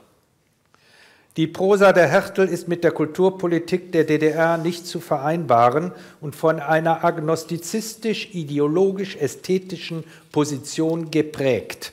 Ihr Schreiben verfälscht den Menschen, ist einschichtig, undifferenziert und nicht entwicklungsfähig. Ralf Günter Kolkiewicz, Mein Taubentraum. Das ist Karl. Karl schweigt. Seit zehn Jahren ungefähr. Manchmal in der Nacht spricht er im Schlaf. Da erwache ich sofort. Ich bin gleich hellwach, aber ich verstehe nichts. Er murmelt nur undeutlich, wälzt sich, als kämpfe er, als verteidige er sich gegen etwas, das ihm Angst macht. Gestern habe ich ihn so genommen, an den Schultern, habe ihn geschüttelt, ihn angebrüllt. Rede du, schweig mich nicht noch länger an. Das hält keine Sau aus. Ich habe dir doch nichts getan. Doch er sitzt wie tot auf dem Sofa, immer auf derselben Stelle. Ein Kissen hinterm Hintern. Geht nicht aus dem Haus. Steht um 6 Uhr in der Früh auf, raucht eine, trinkt Kaffee. Um 8 ein Marmeladenbrot und noch einen Top Kaffee, die nächste Zigarette. Um halb zwölf will er Mittag. Einmal habe ich einfach nichts gekocht. Wollt sehen, was er tut, wie er reagiert. Vielleicht sagt er ja was. Nein. Er hat den Aschenbecher nach mir geworfen. Den vollen. Oft sieht er mich tagelang nicht mal an. Das ist Terror. Schweigen und nicht ansehen. Zum Mittag, halb zwölf, will er sein Bier. Nach dem Essen raucht Karl. Dann machen wir den Fernseher an, wenn was kommt. Meistens kommt ja nichts. Feiertags und sonntags kommen immer die alten Filme. Die haben wir beide gern. Abendbrot um halb sechs. Dann noch zwei Zigaretten. Das ist alles. So leben wir. Und so sterben wir, wenn es an der Zeit ist. Die Luft wird dünn. Die ersten Jahre liegen hinter uns, dachten wir. Die ernsten. Nun kommen die heiteren. Ja, die Kinder sind aus dem Haus. Er hat sich darauf gefreut, hat immer geschwärmt, alt zu werden mit mir. Das ist nicht so leicht, wie es aussieht. Alte Bilder sieht er sich noch immer gern an. Manchmal sehr, sehr lang. Er sitzt und hält sie und ganz langsam, zuerst bemerkt man es kaum, beginnt die Hand, die das Foto hält, zu zittern. Am Ende so heftig, dass er das Bild weglegt. Er hält mir die Hand hin. Ich denke, ich soll sie streicheln. Doch er will ein Taschentuch, um sich die Augen zu wischen. Obwohl ich mich dann meistens ärgere, dass ich den alten Schafskopf immer bedienen soll, weine ich jedes Mal mit. Ich habe ihn oft gefragt, was ihm durch den Kopf geht beim Fotoschauen. Ja, fragen kann ich ihn schon. Ich bekomme nur nie eine Antwort. Nicht wahr, Carly? Hat große Kinder, große Enkel, die manches gern besprechen würden mit ihrem Vater und Großvater, bevor es denn nicht mehr gibt, weil er 75 wird, kommenden Dezember und bald sterben könnt in dem Alter. Hast du mal darüber nachgedacht, du mit deinem Eselskopf? Der Enkel fragt nach deinen Ideen, warum sie zugrunde gehen. Da ist dein Schweigen mit einem Mal klug. Kommst nämlich um ehrliche Antworten herum, die du verabscheust, wie der Papst das Bordell. Was hättest du dem gesagt, dem Enkel? Hab's für dich getan. Ich hätte geschrien an deiner Stelle hätte ich die Antworten gehört, die ich dem Enkel gab. Dass das nicht deine Ideen waren, denen du nachgelaufen bist dein Leben lang, dass dein Leben ein einziger Irrtum war und dass du nur deshalb schweigst, um das nicht zugeben zu müssen. Und was ich dem Enkel nicht sagen wollte, dir sage ich es jetzt, da dein Weg auch meiner ist. Deine Irrtumer auch meine dass ich gern mit dir darüber reden würde. Ich bin eine alte Frau. Ich darf das erzählen, dass Karl mal ein Wilder war. er wollte gleich am ersten Abend, hat mir immer am Kleid genestelt, aber ich wollte tanzen. Er kam frisch von irgendeiner Schulung, war ganz ausgehungert nach Frauen. Aber ich hab, ihm, hab mich im letzten Moment rausgewunden, hab ihm gesagt, ich sei unpässlich. Da wollte er mich mit der Zunge. Das liebe er vor allem, also noch vor Marx und Engels. Habe ich ihm eine gescheuert, aber nur, weil es mir peinlich war vor den anderen, die das gehört haben, dass er mein Blut lecken wollte. So war mein Karl. Dreist und frech. Hm, ein hoffnungsvoller Kader. Aber geendet hat's, als unser Sohn 84 ins Gefängnis musste. Sonst wäre es immer höher hinaufgegangen. Karl war der Liebling der Partei. Das war er dann auf einmal nicht mehr, obwohl er sich distanziert hat von Robert, seinem Sohn. Wir haben uns losgesagt von diesem Kind, das so aus der Art schlug, Spottverse zu dichten auf das, was uns heilig war. Im Ernst. Sie lachen. Ich tue Ihnen leid. Die Alte ist ja von vorgestern. Bin ich vielleicht. Aber vorgestern war auch ein Tag. Und jetzt? Red, Carly!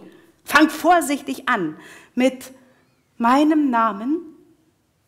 Ich will dich noch einmal in diesem Leben hören, wie mein Name klingt, wenn du ihn aussprichst. Ich will, dass du redest, Mann, dass du es Maul aufmachst, wie früher. Beschimpfen könntest du mich. Drecksau, Schlampe, mir doch egal. Ich mach's Fenster auf, breite die Arme aus und flieg wie eine Taube durch den schmutzigen Himmel. Ich flieg und flieg bis ich über die Wälder komme. Und bevor ich überlege, wo ich hin will, bin ich wach. Sehe Carly an, wie der schläft. Sieht so unglücklich aus. Wenn man nur wüsste, was hinter so einer Stirn vor sich geht. Man müsste das aufmeißeln können, da oben. Besser wäre eine Schrift wie im Kino, die draußen anzeigt, was drin los ist. Vorausgesetzt, die Dinger sind auf Wahrheit eingestellt und nicht zu beeinflussen. Siehst du, Karl? Dann kaufe ich jede Woche neue Batterien für deine Leuchtschrift. Und alles wäre in Ordnung mit uns. Aber bis das erfunden ist, gibt's uns beide nicht mehr. Bis dahin müssen wir uns mit Reden behelfen. Aber du schweigst, Karl. Und deshalb gehe ich jetzt hinaus aus diesem Schweigetod ins Wörterleben. Kann ja weghören, wenn es mir zu viel wird. Aber das glaube ich nicht. Ich werde das trinken wie süßen Schnaps. Und wenn ich Lust habe auf Schweigen und Stille, komme ich dich besuchen. Hörst du? Carly?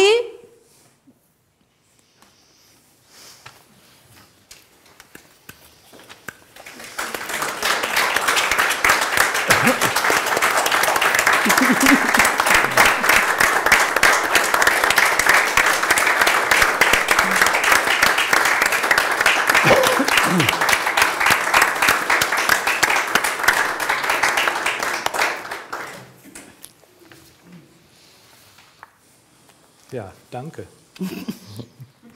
Allen.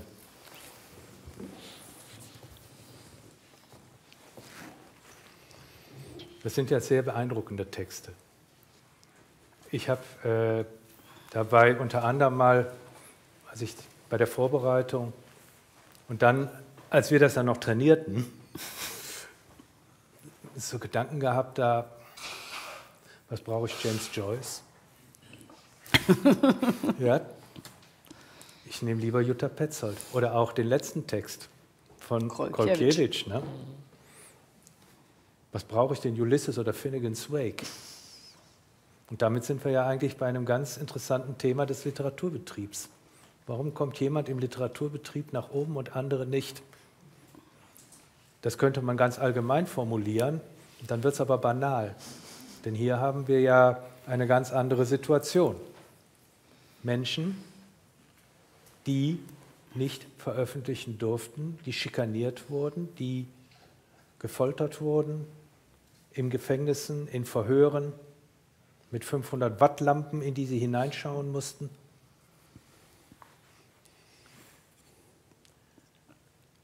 Gefängnisliteratur ist ja auch eine Literatur oder Literatur in solcher Situation, die es ja nicht nur in der DDR gab, sondern auch in vielen anderen Ländern. Ich habe letztens mal einen Text von Asli Erdogan gelesen, die ja auch äh, unter Erdogan eingesperrt sind. Die haben nichts miteinander zu tun, die beiden, die haben nur den gleichen Namen.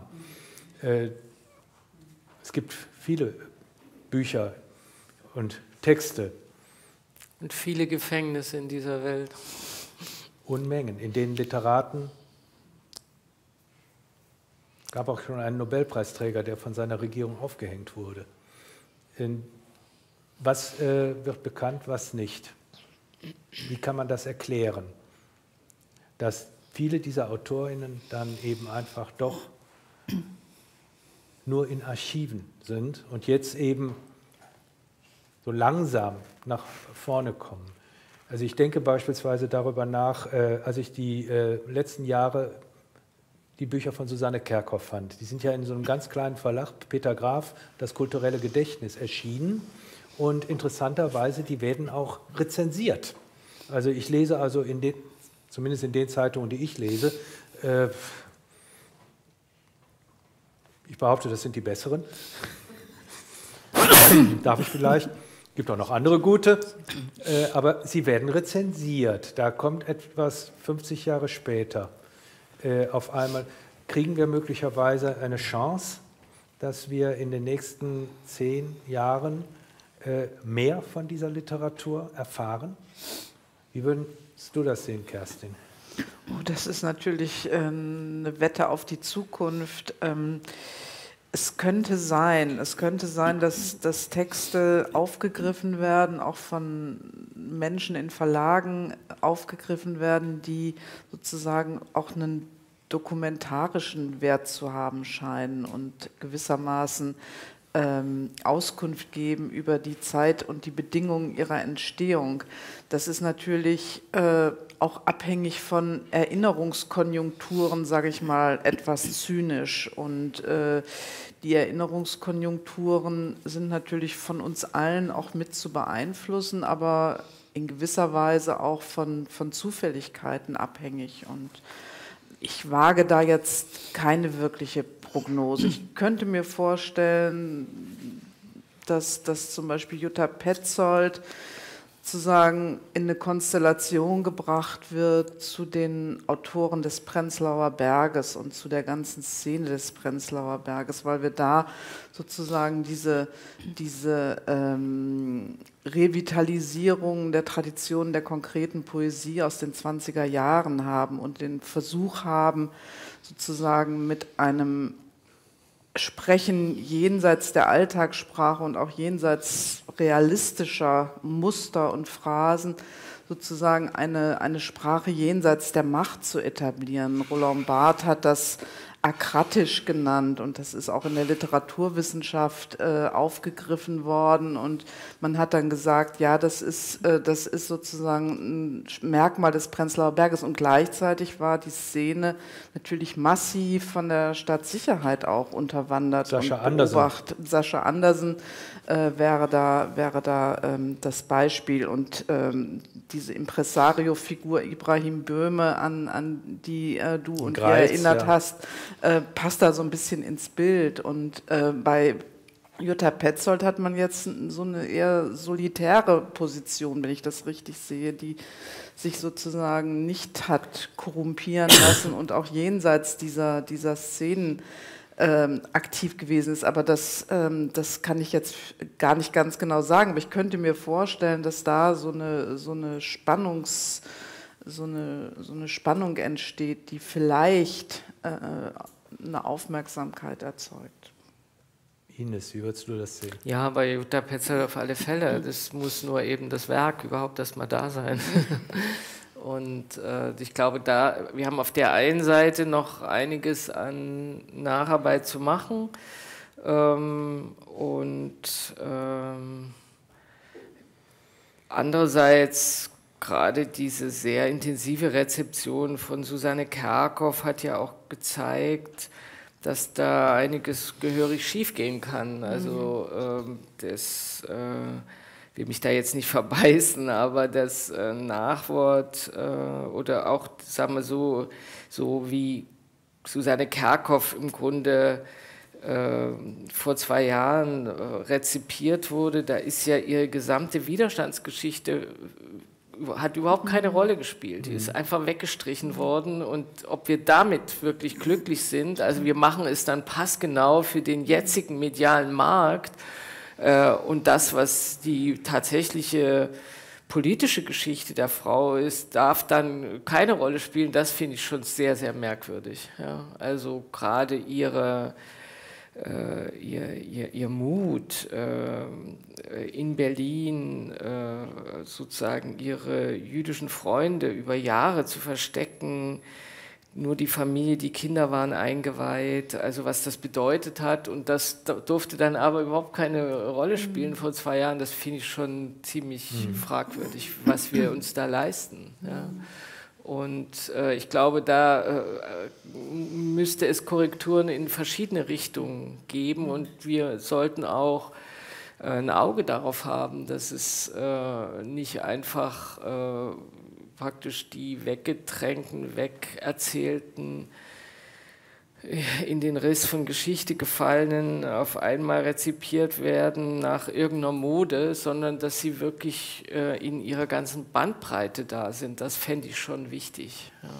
Ja, und es braucht Gibt's eben, glaube ich, wirklich, wirklich, entschiedene Förderer. Also ich denke mhm. jetzt an ein ganz anderes Beispiel, aber über Gefängnisliteratur gibt es eben doch eine Klammer. Also Walter Kempowski hat ja seine Karriere im Westen nach dieser langjährigen Haft in Bautzen in den 1950er Jahren nur durch Fritz J. Radatz äh, beginnen können. Das heißt, es braucht wirklich entschiedene Personen, die sich dann auch ähm, eines, einer solchen Autorschaft annehmen und das dann auch durchsetzen. Und dies dann auch in einem äh, Kontext bringen, äh, der tatsächlich dann alles abbildet. Ich habe oft den Eindruck, dass äh, oft die Gefahr besteht, dass entweder nur ästhetisiert wird mhm. oder nur dokumentiert. Ne, dass eben äh, ganz viel wegfällt, dass dann manche Autoren dann nur gesehen werden, äh, ach, die dokumentieren jetzt, wie schlimm das in der Diktatur ist. Und äh, die ästhetischen äh, Elemente völlig äh, hinten runterfallen oder umgekehrt, dass man äh, ästhetisiert, also einen La pour La dann pflegt und dann fällt das Politische runter. Wobei die äh, Wahrnehmung ist schon nach 89, dass die oft ja sehr harschen politischen Biografien immer noch auch ein Ausschlussmoment mhm. sind für die Rezeption im Literaturbetrieb. Also das ist, also es ist wie eine Zeichnung ja, der, der Stimmen, die, ähm, also wo wir, wo man immer nur wieder erstaunt darüber sein kann, in was, was für ein ja, äh, Kapsel oder Kasten oder Schachtelsystem wir äh, Menschen verfrachten, die so eine die, die einfach ein Schicksal haben, die eine Geschichte haben, die eine Bio, wirkliche Biografie haben. Also Erfahrung haben ist für einen Literaturmarkt äh, nicht immer gewinnbringend. Ja, und es ist natürlich über Jahre hinweg, seit den 1970er Jahren und dann nach der Wende auch nochmal sozusagen unter diesem Rubrum unbelehrbarer Antikommunist ja. verhandelt worden. Und das hat natürlich auch mit kulturellen Hegemonien im, mhm. im Literaturbetrieb zu tun. Ja. Das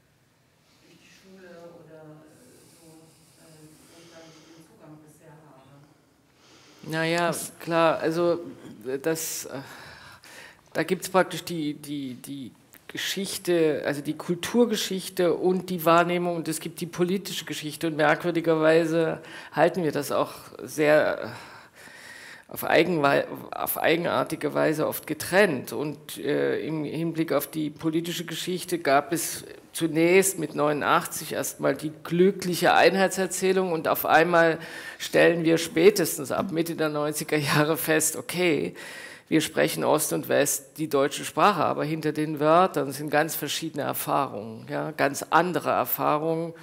Und das ist ein sehr, sehr, ein erstaunlich zäher und mühsamer Nachholprozess. Und äh, wir müssen uns darüber jetzt gar nicht lange unterhalten, aber ich glaube, dass Herr Oberender die kritische äh, Literatur, also diese dritte Literatur des Ostens, da nicht gemeint hat. Ja? Also ich habe ihn nicht erlebt mit äh, dass, dass er diese weg, bisher weggedrängten, äh, wegerzählten Stimmen tatsächlich in die Rezeption integriert hätte. Also das sind ja auch, es gibt ja auch einen binnen-ostdeutschen Streit ja, über äh, das, was äh, äh, in die Rezeption hineingehört und was nicht. Ja, das sind, wir sind in konkurrierenden Erinnerungsfeldern ja, und, in, und, und leben auch sehr konkurrierende Erinnerungen aus. Und da ist dann äh, oft entscheidend, wer medial sehr stark sein kann, ja, so, oder bestimmend sein kann oder prägend werden kann. Also Erinnerungskonkurrenzen sind ein ganz interessanter Begriff.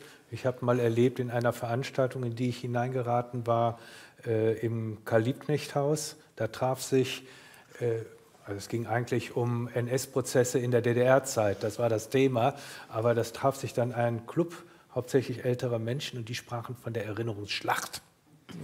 Das, also wie Ernteschlacht. Also das heißt, äh, das Konkurrieren von Erinnern scheint ja äh, durchweg immer wieder ein Thema zu sein. Aber es gibt hier im Publikum mehrere, die sich gemeldet haben. Rainer. Ja, mir geht noch die Frage ähm, durch den Kopf, ob wir nicht auch einen Aspekt nochmal angucken müssten, nämlich was macht eigentlich das Verschwindenlassen in den Diktaturen insgesamt so erfolgreich?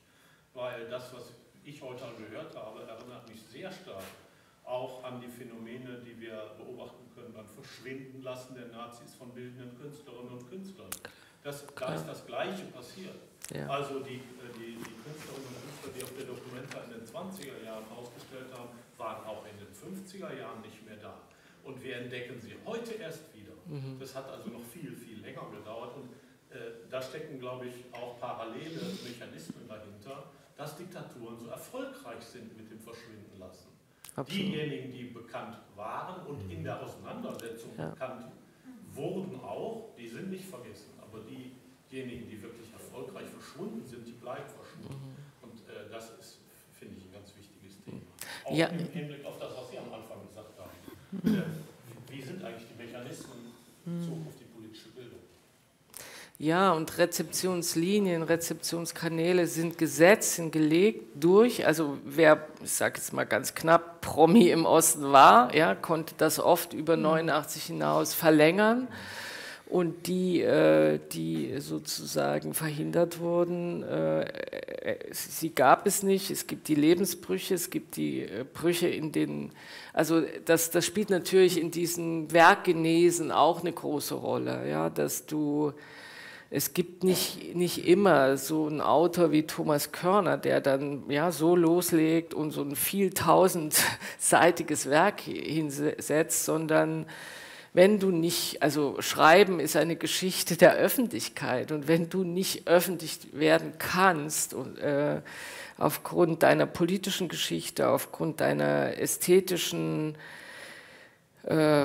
inneren Verteidigung, das ist bei Jutta Petzold war das ja so, die ausdrücklich, Else Laskische, die hat sich von Westberlin sozusagen äh, die, die Texte bringen lassen äh, von den Freunden und hat das alles abgeschrieben. Da gibt es die Schreibbücher, ja, Minischrift und, ähm, und hat sich ganz, ganz ausdrücklich, für sie war, war das sozusagen das Credo, es gibt alles. Es gibt die chinesische Mythologie, es gibt natürlich die Antike, es gibt alles. Nur was es nicht gibt, ist die DDR. Also, also kein Wort und kein Bild und kein Straßenname und kein Nichts, sondern es ist ein Kompe also die, die schmeißt da äh, um sich äh, mit allem.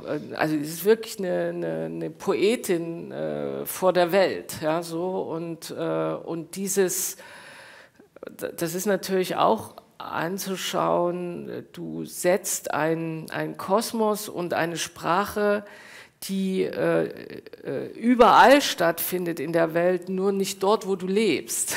ja, das macht eben, also die, diese, diese strengen Synapsen zwischen den Lebenswegen und dem, was äh, Verteidigung deiner Ästhetik, deiner Stoffe, deiner Themen äh, betrifft, also diese, diese, wie eng diese, ja, diese äh, Verzahnung war unter den Bedingungen der Diktatur, unter dem Druck auch das sieht man wirklich an diesen 100 Autorinnen und Autoren, weil die, die leben oft, äh, also weil das oft sehr, sehr harsche Brüche sind. Ja? Also ganz viel Suizid, ganz viel äh, Krebserkrankungen, ganz viel. Also das ja, auch ist, Alkohol spielt ja eine ja, ganz große Alkohol Rolle. Alkohol spielt ne? eine große Rolle. Also diese ganzen Versuche in irgendeiner Weise diesem Druck und diesem Zugriff ein Stück weit zu entkommen, das spielt eine große Rolle in den Leben auch. Ja, so. Und ich wollte nur sagen,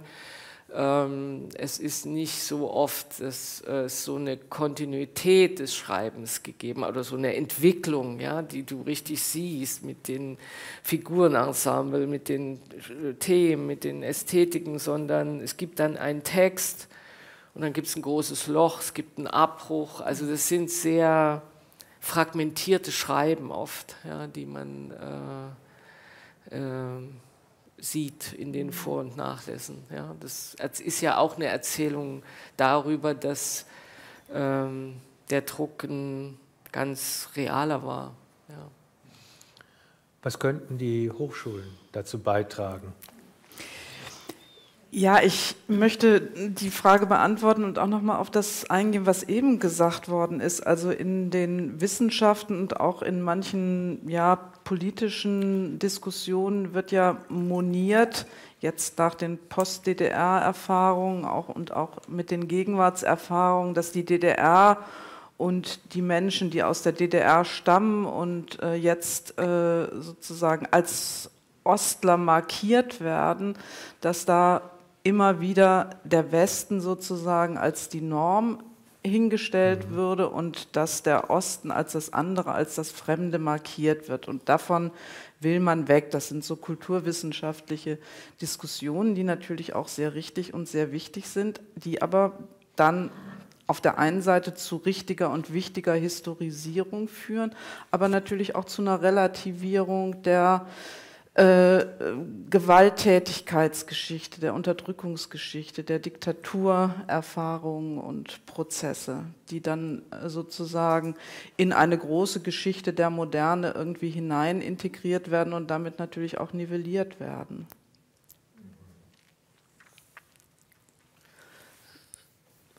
Frage ich mal die beiden SchauspielerInnen. Ihr habt jetzt diese Texte ja vorher auch nicht gekannt, bevor ihr gefragt, ja, bevor ich euch das geschickt habe. Ne? Mhm. Ähm, wie ungewöhnlich sind die Texte für Texte, die ihr sonst vortragt? Nicht ungewöhnlich. Also mir ist es so gegangen, dass ich äh, diese Texte, ähm, die teilweise etwas kryptisch sind, mhm. ähm, äh, nur in diesem Zusammenhang äh, mit den Stasi-Berichten über die Autoren und, und den, den, Berichten der Autoren und Autorinnen aus ihren Gefängnis- oder Klinikaufenthalten. Äh, das, ich brauchte das also im, im, im Kontext. Mhm. Gut, aber James Joyce ist auch kryptisch. Ja. genau. Ähm, James Joyce ist ja, ja gut ein sehr, sehr, für mich sehr schwieriger Autor. Ich habe da nie reingefunden. Also ich habe mich, ich habe es immer wieder versucht. Es gibt äh, zwei Autoren, äh, in die ich nie äh, reingefunden habe. Das ist äh, also James Joyce und äh, jetzt habe ich den anderen vergessen. Vielleicht besser so. Der war so kryptisch.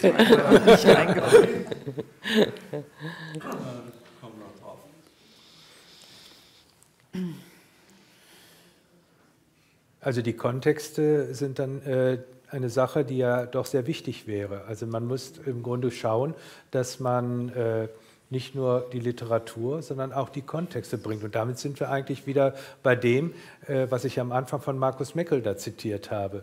Er sagte, äh, es wird ja oft so im Westen getan, als wenn 40 Jahre lang äh, östlich der Elbe nichts stattgefunden hätte. Ach naja, ich muss jetzt meine Lanze brechen. Wir sitzen hier in Bonn, ja, wir sitzen hier im Westen und machen die Veranstaltung. Also es ist nicht in Neubrandenburg oder in, ich ich finde es immer so, es, es findet doch statt und es, es geht doch darum. Äh, Hat ja meine Provokation genützt. ja, also äh, ich äh, finde, man baut dann immer schon wieder so eine komischen ja, also der Westen hört nicht hin und äh, irgendwie, äh, es gibt auch gerade im Hinblick auf diese unveröffentlichte Literatur enorm viel Abwehr im Osten. Ja, das muss man schon auch mal sagen. Also das äh, ist nicht so, dass es selbstverständlich ist, dass wir, also und ich finde, wir Ostdeutschen sind dafür zuständig, es ist unsere Verantwortung, äh, dass wir das sammeln, dass wir es bereitstellen, dass wir ähm, äh, uns dazu verhalten, dass sie das, also wenn es sozusagen eine, eine, eine zu verteidigende Kultur des Ostens gibt, dann sind es doch zuallererst nicht nur, aber diese, ja, die äh, von denen klar sein muss, dass sie äh, das Beste sind, was wir haben. Leute mit Rückgrat, mit Klarheit, mit Haltung, mit die haben, die haben sich verteidigt, die haben ihr Leben verteidigt, die haben ihre Sprache verteidigt und das gehört, äh, das ist unser Part, ähm, das zu lesen, anzuschauen und in unsere Herzen zu lassen. Mehr ist, mir, mich interessiert es nicht, ob es Weltliteratur ist, sondern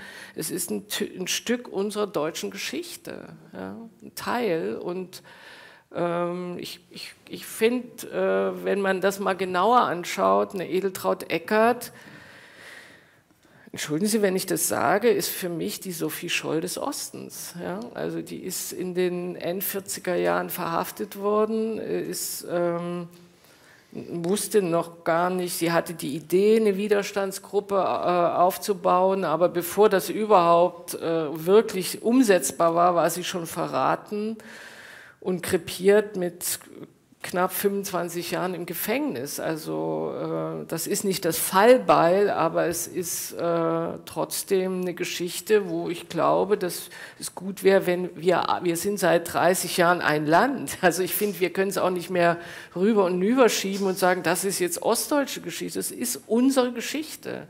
Wir wissen ja auch alle von Sophie Scholl, dann können wir auch alle von Edeltraut Eckert wissen. Also es ist doch gar nicht so eine Hexerei. Ich finde immer, warum müssen wir immer so eine Wolke Wolke machen, ehe wir irgendjemand bereit sind, an uns ranzulassen. Das ist doch nicht. Das ist eine tolle Frau und die, die Menschen, die ich sprechen konnte, äh, die sie gekannt haben, die mit ihr das Abi gemacht haben in, in Brandenburg, ja, die haben gesagt, die hat uns gefehlt, als es dann neu, also als es zu, den, zu Zeiten der DDR um Widerstand ging. Und die hat uns vor allen Dingen auch 89 gefehlt. Das ist ja auch die Erzählung, äh, ja, also dass ähm, wirklich äh, die, die, die, die, die, die intellektuelle äh, Substanz ja, äh, äh, über die Zeit hin auch ausgedünnt wurde. Äh, und nicht nur die Ärzte, sondern auch viele wichtige, gute Leute äh, weggegangen sind. Und das fehlt einfach nach wie vor. Und das brauchen wir. Und deswegen brauchen wir auch diese Texte so sehr. Ja? Und äh, weil das, das Schöne, finde ich jedenfalls, an dem, mal unabhängig davon, dass es einen selber so reich macht, das kennenlernen zu können, aber ähm, es sind eben auch Texte bei aller äh, Kryptik, ja, da gebe ich Ihnen recht, ja, dass da äh, sicherlich äh, Kommentare nötig sind, äh, aber es sind eben auch die unklischierten Texte, ja, sie sind Texte, die zu Zeiten der DDR entstanden sind und nicht nach 89 irgendwelche Bilder über die DDR, ja, wo man sich immer fragt, oh, okay, ich war doch auch da, warum war es denn so anders? ja, ähm, nein, also äh, wo ich denke, von denen erfahren wir doch, und wenn es so kleine Texte sind, ja, wie die Sie gesprochen haben oder die Heide Marie Hertel, da wird die Wäsche aufgehängt und der Hund bellt und so, das ist doch auch Literatur, ja, so. Und, und das ist auch ein Geschmack von Diktatur, ja, also auch, es gab auch einen Alltag, man hat auch auf der Wiese gesessen und das Bier getrunken.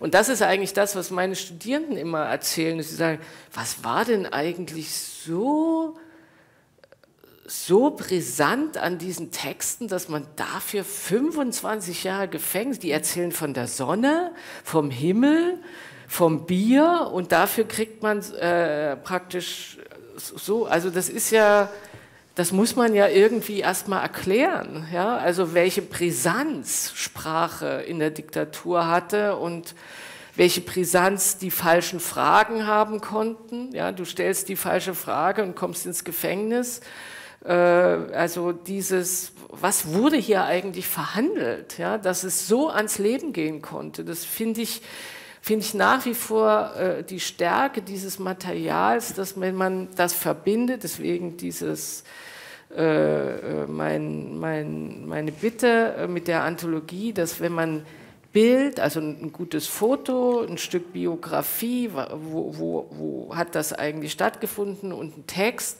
hast du ganz viel erklärt über die Diktatur. Ja? Mhm. Also weil unsere Studierenden, für die immer alles geht, die, wo, wo, die, die, die haben ihr Gerät, ihr iPhone, die können in jedes Land der Welt fahren, das machen sie auch. Äh, die, die kennen ja dieses etwas geht nicht, gar nicht, vom Lebensgefühl her nicht. Und deswegen ähm, durch die Tatsache, dass wir doch einige äh, äh, und wirklich nicht wenige Diktaturen in der Welt haben, ist das als Material, so als Vorstellung, was das bedeuten kann, äh, wie schnell es gehen kann, dass man eben bestimmte Dinge nicht mehr äh, darf und was es bedeutet, warum eine Ukraine so sehr darum kämpft, genau das zu dürfen, nämlich zur Welt zu gehören, zu diesem Europa zu gehören. Jetzt kommt, kommen schon die, die, die Mücken hier, die letzten Mücken. Ähm, äh, ich finde, dadurch könnte man so viel verstehen, auch in Schulen. Also wenn man einfach ein Stück Biografie, ein Stück Text und ein Stück Leben nebeneinander stellt. Ja. Rolf, ich habe eine Frage. Wie haben sich eigentlich die etablierten Autoren, die also im Osten sehr bekannt waren und ja auch äh, im Westen sehr bekannt waren, also Stefan Heim, Christa Wolf, Heiner Müller, der ganz viel im Westen aufgeführt wurde, äh, wie haben die sich eigentlich zu diesen Autoren verhalten? Also äh, gab es in der DDR einen Pen-Club, nehme ich doch mal an, einen, einen Ost-Pen. Ähm, oder waren diese Autoren den etablierten Autoren bekannt? Denn heute ist es ja auch so, dass, äh, dass viele Autoren äh, Solidaritätsadressen herausgeben für, für Autoren oder Autorinnen, die im Gefängnis sitzen. Äh, hat es sowas in der DDR gegeben? Writers in Prison gibt es ja. Also es gab ähm, eben praktisch so jemanden wie den Vater, äh, also Franz Fühmann, ähm, der äh, junge Autoren und Autorinnen sehr gefördert hat. Deswegen habe ich das am Anfang gesagt, sind wir äh, haben wir geguckt bei den Fremdnachlässen, also meinethalben bei Franz Fühmann, welche Namen mhm. tauchen da auf. Aber und nach 89, als äh, praktisch wir öffentlich geworden sind mit dem Projekt, gab es einen Schriftsteller des Ostens, der dieses Projekt sehr bestätigt, äh, immer wieder angerufen hat, gesagt hat, mach das, das ist wichtig.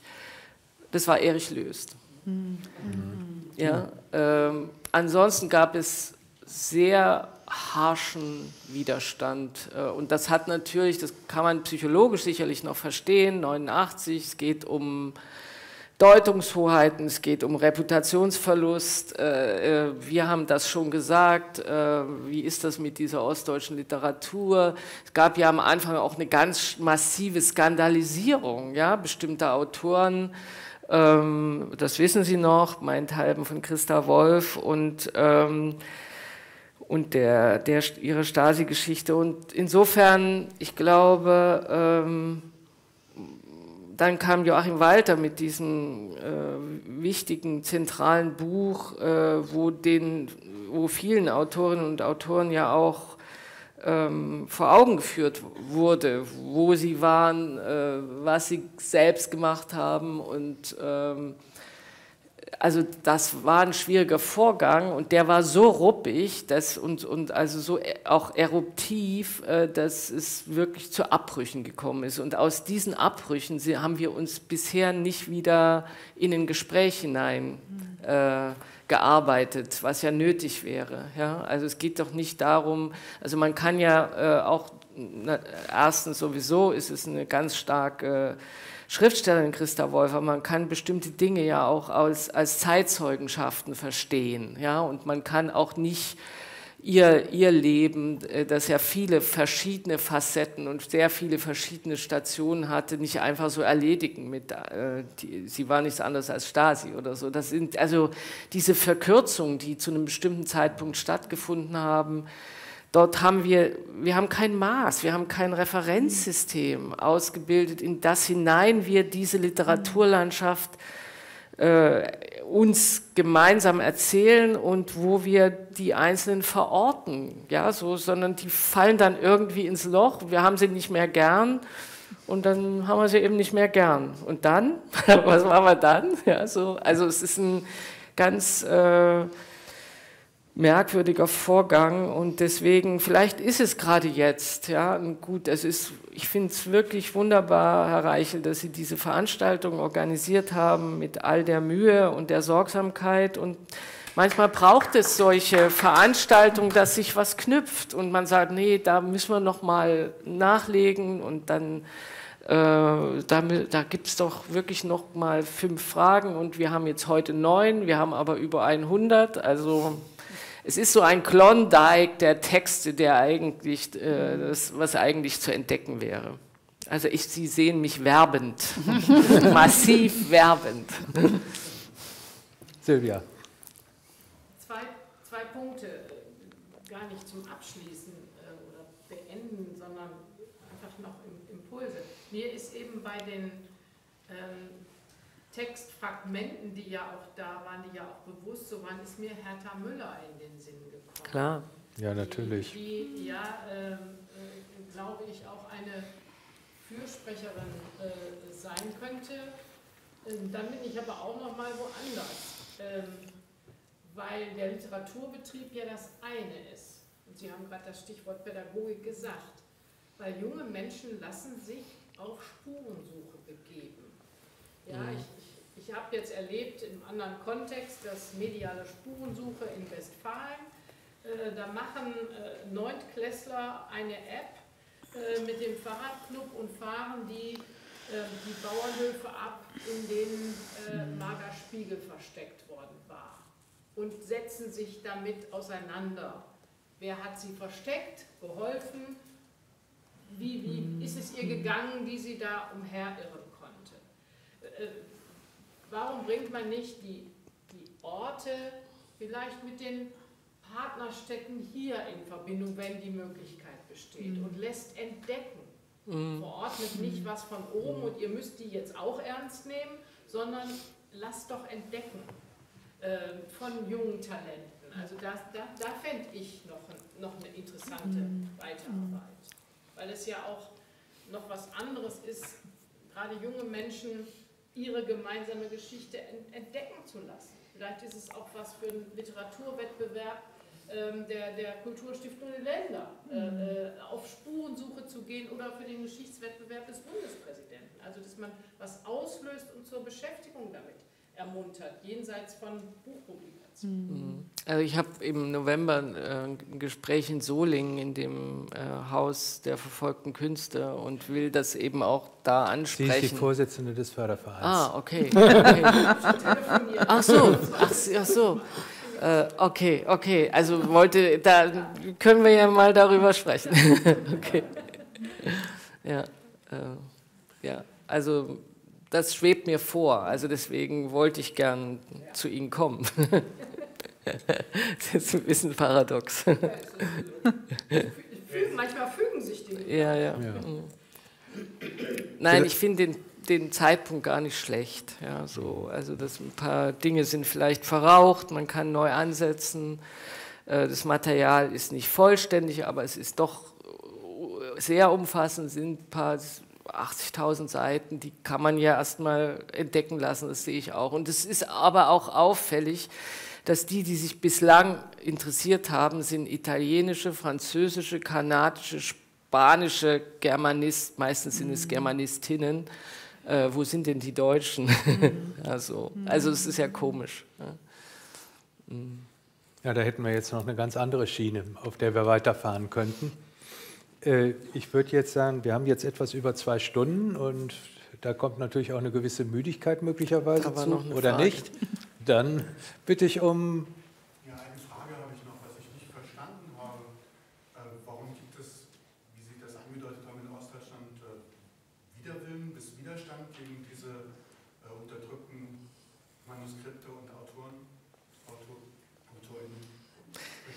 Naja, es ist natürlich die kritische Geschichte des Ostens. Ja? Und äh, wo, wo, sind wir im Moment äh, ja? im Hinblick auf äh, Ostdeutschland und Aufarbeitung? Und da gibt es schon größere Defizite. Ja? Und ähm, da äh, wird, also wenn Sie im Moment Veranstaltungen machen äh, zum Osten und sagen Diktatur, da haben Sie schon, müssen Sie schon ganz schön gegenhalten. Also die, die Dinge verrutschen oder dieser hart umkämpfte Begriff Unrechtsstaat. Ja, also Also wir haben ja Ministerpräsidenten in diesem Land, da ist am 13. August, wie in Thüringen, ist es der Unrechtsstaat und am 3. Oktober ist es ist nicht, es mehr der Unrechtsstaat, weil ja. dann ist es zu nah am Nationalsozialismus. Also wenn wir so mit Geschichte umgehen, dann müssen wir uns nicht wundern, äh, dass die Jungen und das ist unser Problem. Äh, die drei Generationen ohne Diktaturerfahrung mittlerweile sind diejenigen, die im Osten die AfD ermöglichen. Also das sind unsere Aufträge, die wir haben. Ja. Und ähm, Man, dazu kann ich auch sagen, ja, dazu kann ich auch sagen, äh, ich arbeite ja auch viel mit der Bundesstiftung äh, Aufarbeitung zusammen, die ja auch dies hier mit unterstützt. Und die Anna Kaminski, die Geschäftsführerin, die hat mir erzählt, was sie da teilweise für Mails kriegt und was da teilweise für Anwürfe kommen. Ihr macht hier alles schlecht, was vorher da war. Ne, da, werden auch äh, Dinge, äh, da prallen Dinge aufeinander und es sind Begriffe, Unrechtsstaat ist ja nur einer davon, äh, Begriffe, mit denen kann man, wie das beim Faust steht. Ne, um Begriffe lässt sich trefflich streiten, mit Begriffen ein System bereiten, aber das führt natürlich noch nicht zu einer Klärung. Und dann, wenn dann die Bereitschaft einfach nicht da ist, dann äh, hat man schon ganz schön zu tun, diese hinzubekommen. Na, ja, das ist eine ja, große Frage. Ja, da werden Biografien auf massivste Weise umgeschrieben oh, und auch Geschichte. Wir sind. Hat die Erinnerungskultur mm. in Westdeutschland auch gebraucht in der Auseinandersetzung mit der Nazizeit? Ja. Jahrzehnte. Aber umso wichtiger wären solche Projekte, die ja auch, auch wirklich was äh, fixieren, fest. Es geht ja wirklich um, wir, wir streiten wirklich um, um die Realität ja, eine, eine, eines Systems um, und wir sind in der Phase der Derealisierung. Das ist einfach Fakt. Und es gibt natürlich auch unterschiedlichste, nicht nur politische Interessen, sondern auch äh, biografische äh, Sehnsüchte nach Unschuld und nach, äh, ja, ähm, es soll doch möglichst alles ein bisschen anders gewesen sein, ja. Ähm. Da sind wir beim Postdiktatur. Thema. Und äh, beim Postdiktaturthema gibt es ja auch eine bestimmte Postdiktaturliteratur, wo man das dann auch wieder findet. Also in unterschiedlicher Form. Ich würde jetzt sagen, wir haben jetzt die zwei Stunden. Wir können noch tausend Sachen besprechen. Äh, vielleicht machen wir das auch ein andermal nochmal äh, zu diesem Thema. Äh, ich äh, will jetzt nur zum Abschluss nochmal darauf hinweisen, hinten kann man noch diese Bücher holen. Vielleicht ein paar Sätze äh, zu anderen Produkten dieses Jahres, Schöner neuer Himmel oder? Produkten. ich mache keine Produkte, ich schreibe Bücher. Ja, Aber so sind sie dann auch ein Produkt, da kann man sie nämlich anfassen, ja, sind haptisch. Ja, was soll ich da jetzt sagen? Also Schöner neuer Himmel ist eigentlich die Geschichte. Also wenn, wir, wenn Sie fragen, ja, ist doch eigentlich alles klar, aber das ist zum Beispiel so ein Buch, da habe ich fünf Jahre in sechs, sieben verschiedenen Archiven gesessen und mich gefragt, warum haben wir die Militärgeschichte des Ostens noch, also die Biomedizin, was ist eigentlich, was für ein Körper äh, sollte da eigentlich am Ende rauskommen aus so einer Diktatur? Und da geht es um den Himmel. Ja? Und das das sind ja alles so Fragen, die sich, die so eine merkwürdige Renaissance haben. Ne? Also im Moment der Himmel, Elon Musk und Putin. ja, äh, also es ist, wir sind, das ist schon, also alles, was wir nicht äh, sauber anschauen, das äh, holt uns wieder ein. Ja, so und das ähm, ist ein sehr präzise recherchiertes Buch um diesen Körper, also eigentlich um diesen neuen Menschen. Ja? Also man wollte einen nicht mehr organbezogenen Körper kreieren, der äh, im Himmel nicht nur den Kommunismus ausruft, sondern da oben auch sich aufhält, forever möglichst. Und man wollte natürlich der Erste sein. Und dann sieht man schon auch äh, eine Forschung, eine Verzahnung von Militärforschung und ziviler Forschung, die schon auch hochgradig kriminell war. Und das ist ein Forschungsneuland, wo man so denkt, ist schon ein bisschen merkwürdig, 30 Jahre später, dass wir da noch nicht waren. Ja, so. Und auch interessant, äh, äh, weil in dem Buch auch beschrieben wird, welche Archive da sind, welche Archive nicht da sind, welche Archive noch nicht entdeckt wurden. Da gibt es noch ganz viele Unwägbarkeiten, also auch noch viel äh, zu entdecken. Also kann ich nur empfehlen, das eine oder andere Buch mal mitzunehmen und zu lesen. Also ich kann sagen, äh, als ich angefangen habe, mein erstes Buch war die umkämpfte Zone. Da haben wir uns drüber dann kennengelernt und ich muss sagen, da bin ich ja beigeblieben. Und das möchte ich auch äh, Ihnen allen wünschen. Ich will jetzt zum Abschluss einfach noch euch allen danken für.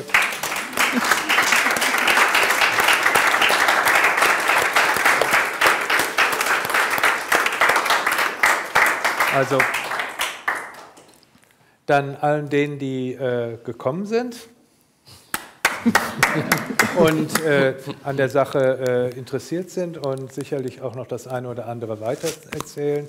Und natürlich auch all denen, die hier die Technik gesichert haben. Kollege vom GSI hinten hat dafür gesorgt, dass äh, Aufnahme klappt. Und äh, dann gucken wir uns das an und ob das ganz ohne Schneiden geht, weiß ich nicht, aber äh, wir werden es auf jeden Fall äh, dann auf den YouTube-Kanal draufpacken und ich werde darüber dann natürlich informieren, äh, wenn wir unsere November-Ausgabe rausbringen vom Demokratischen Salon. Schauen Sie mal rein, da finden Sie auch noch andere Dinge und ich würde Ihnen jetzt erstmal allen wünschen, dass Sie sich noch einen schönen Abend machen. Wir haben jetzt das leider mit dem Sekt irgendwie nicht hingekriegt, aber wie auch immer. Ich hoffe, äh, das lässt sich dann noch anderweitig regeln. Sie können alle äh, noch hier ein bisschen da bleiben, miteinander reden äh, oder sich äh, andere Dinge da äh, noch äh, ähm, kaprizieren. Und wenn Sie noch weitere Fragen dazu haben zu diesem Thema, äh, auf meiner Internetseite steht ja auch die E-Mail-Adresse des Demokratischen Salons. Schicken Sie es. Äh, ich leite das dann auch weiter, äh, sodass dann Fragen dann beantwortet werden können und Rückmeldungen möglich sind. Also Ihnen ganz herzlichen Dank allen und nochmal, es war, fand ich, ein toller Abend. Danke.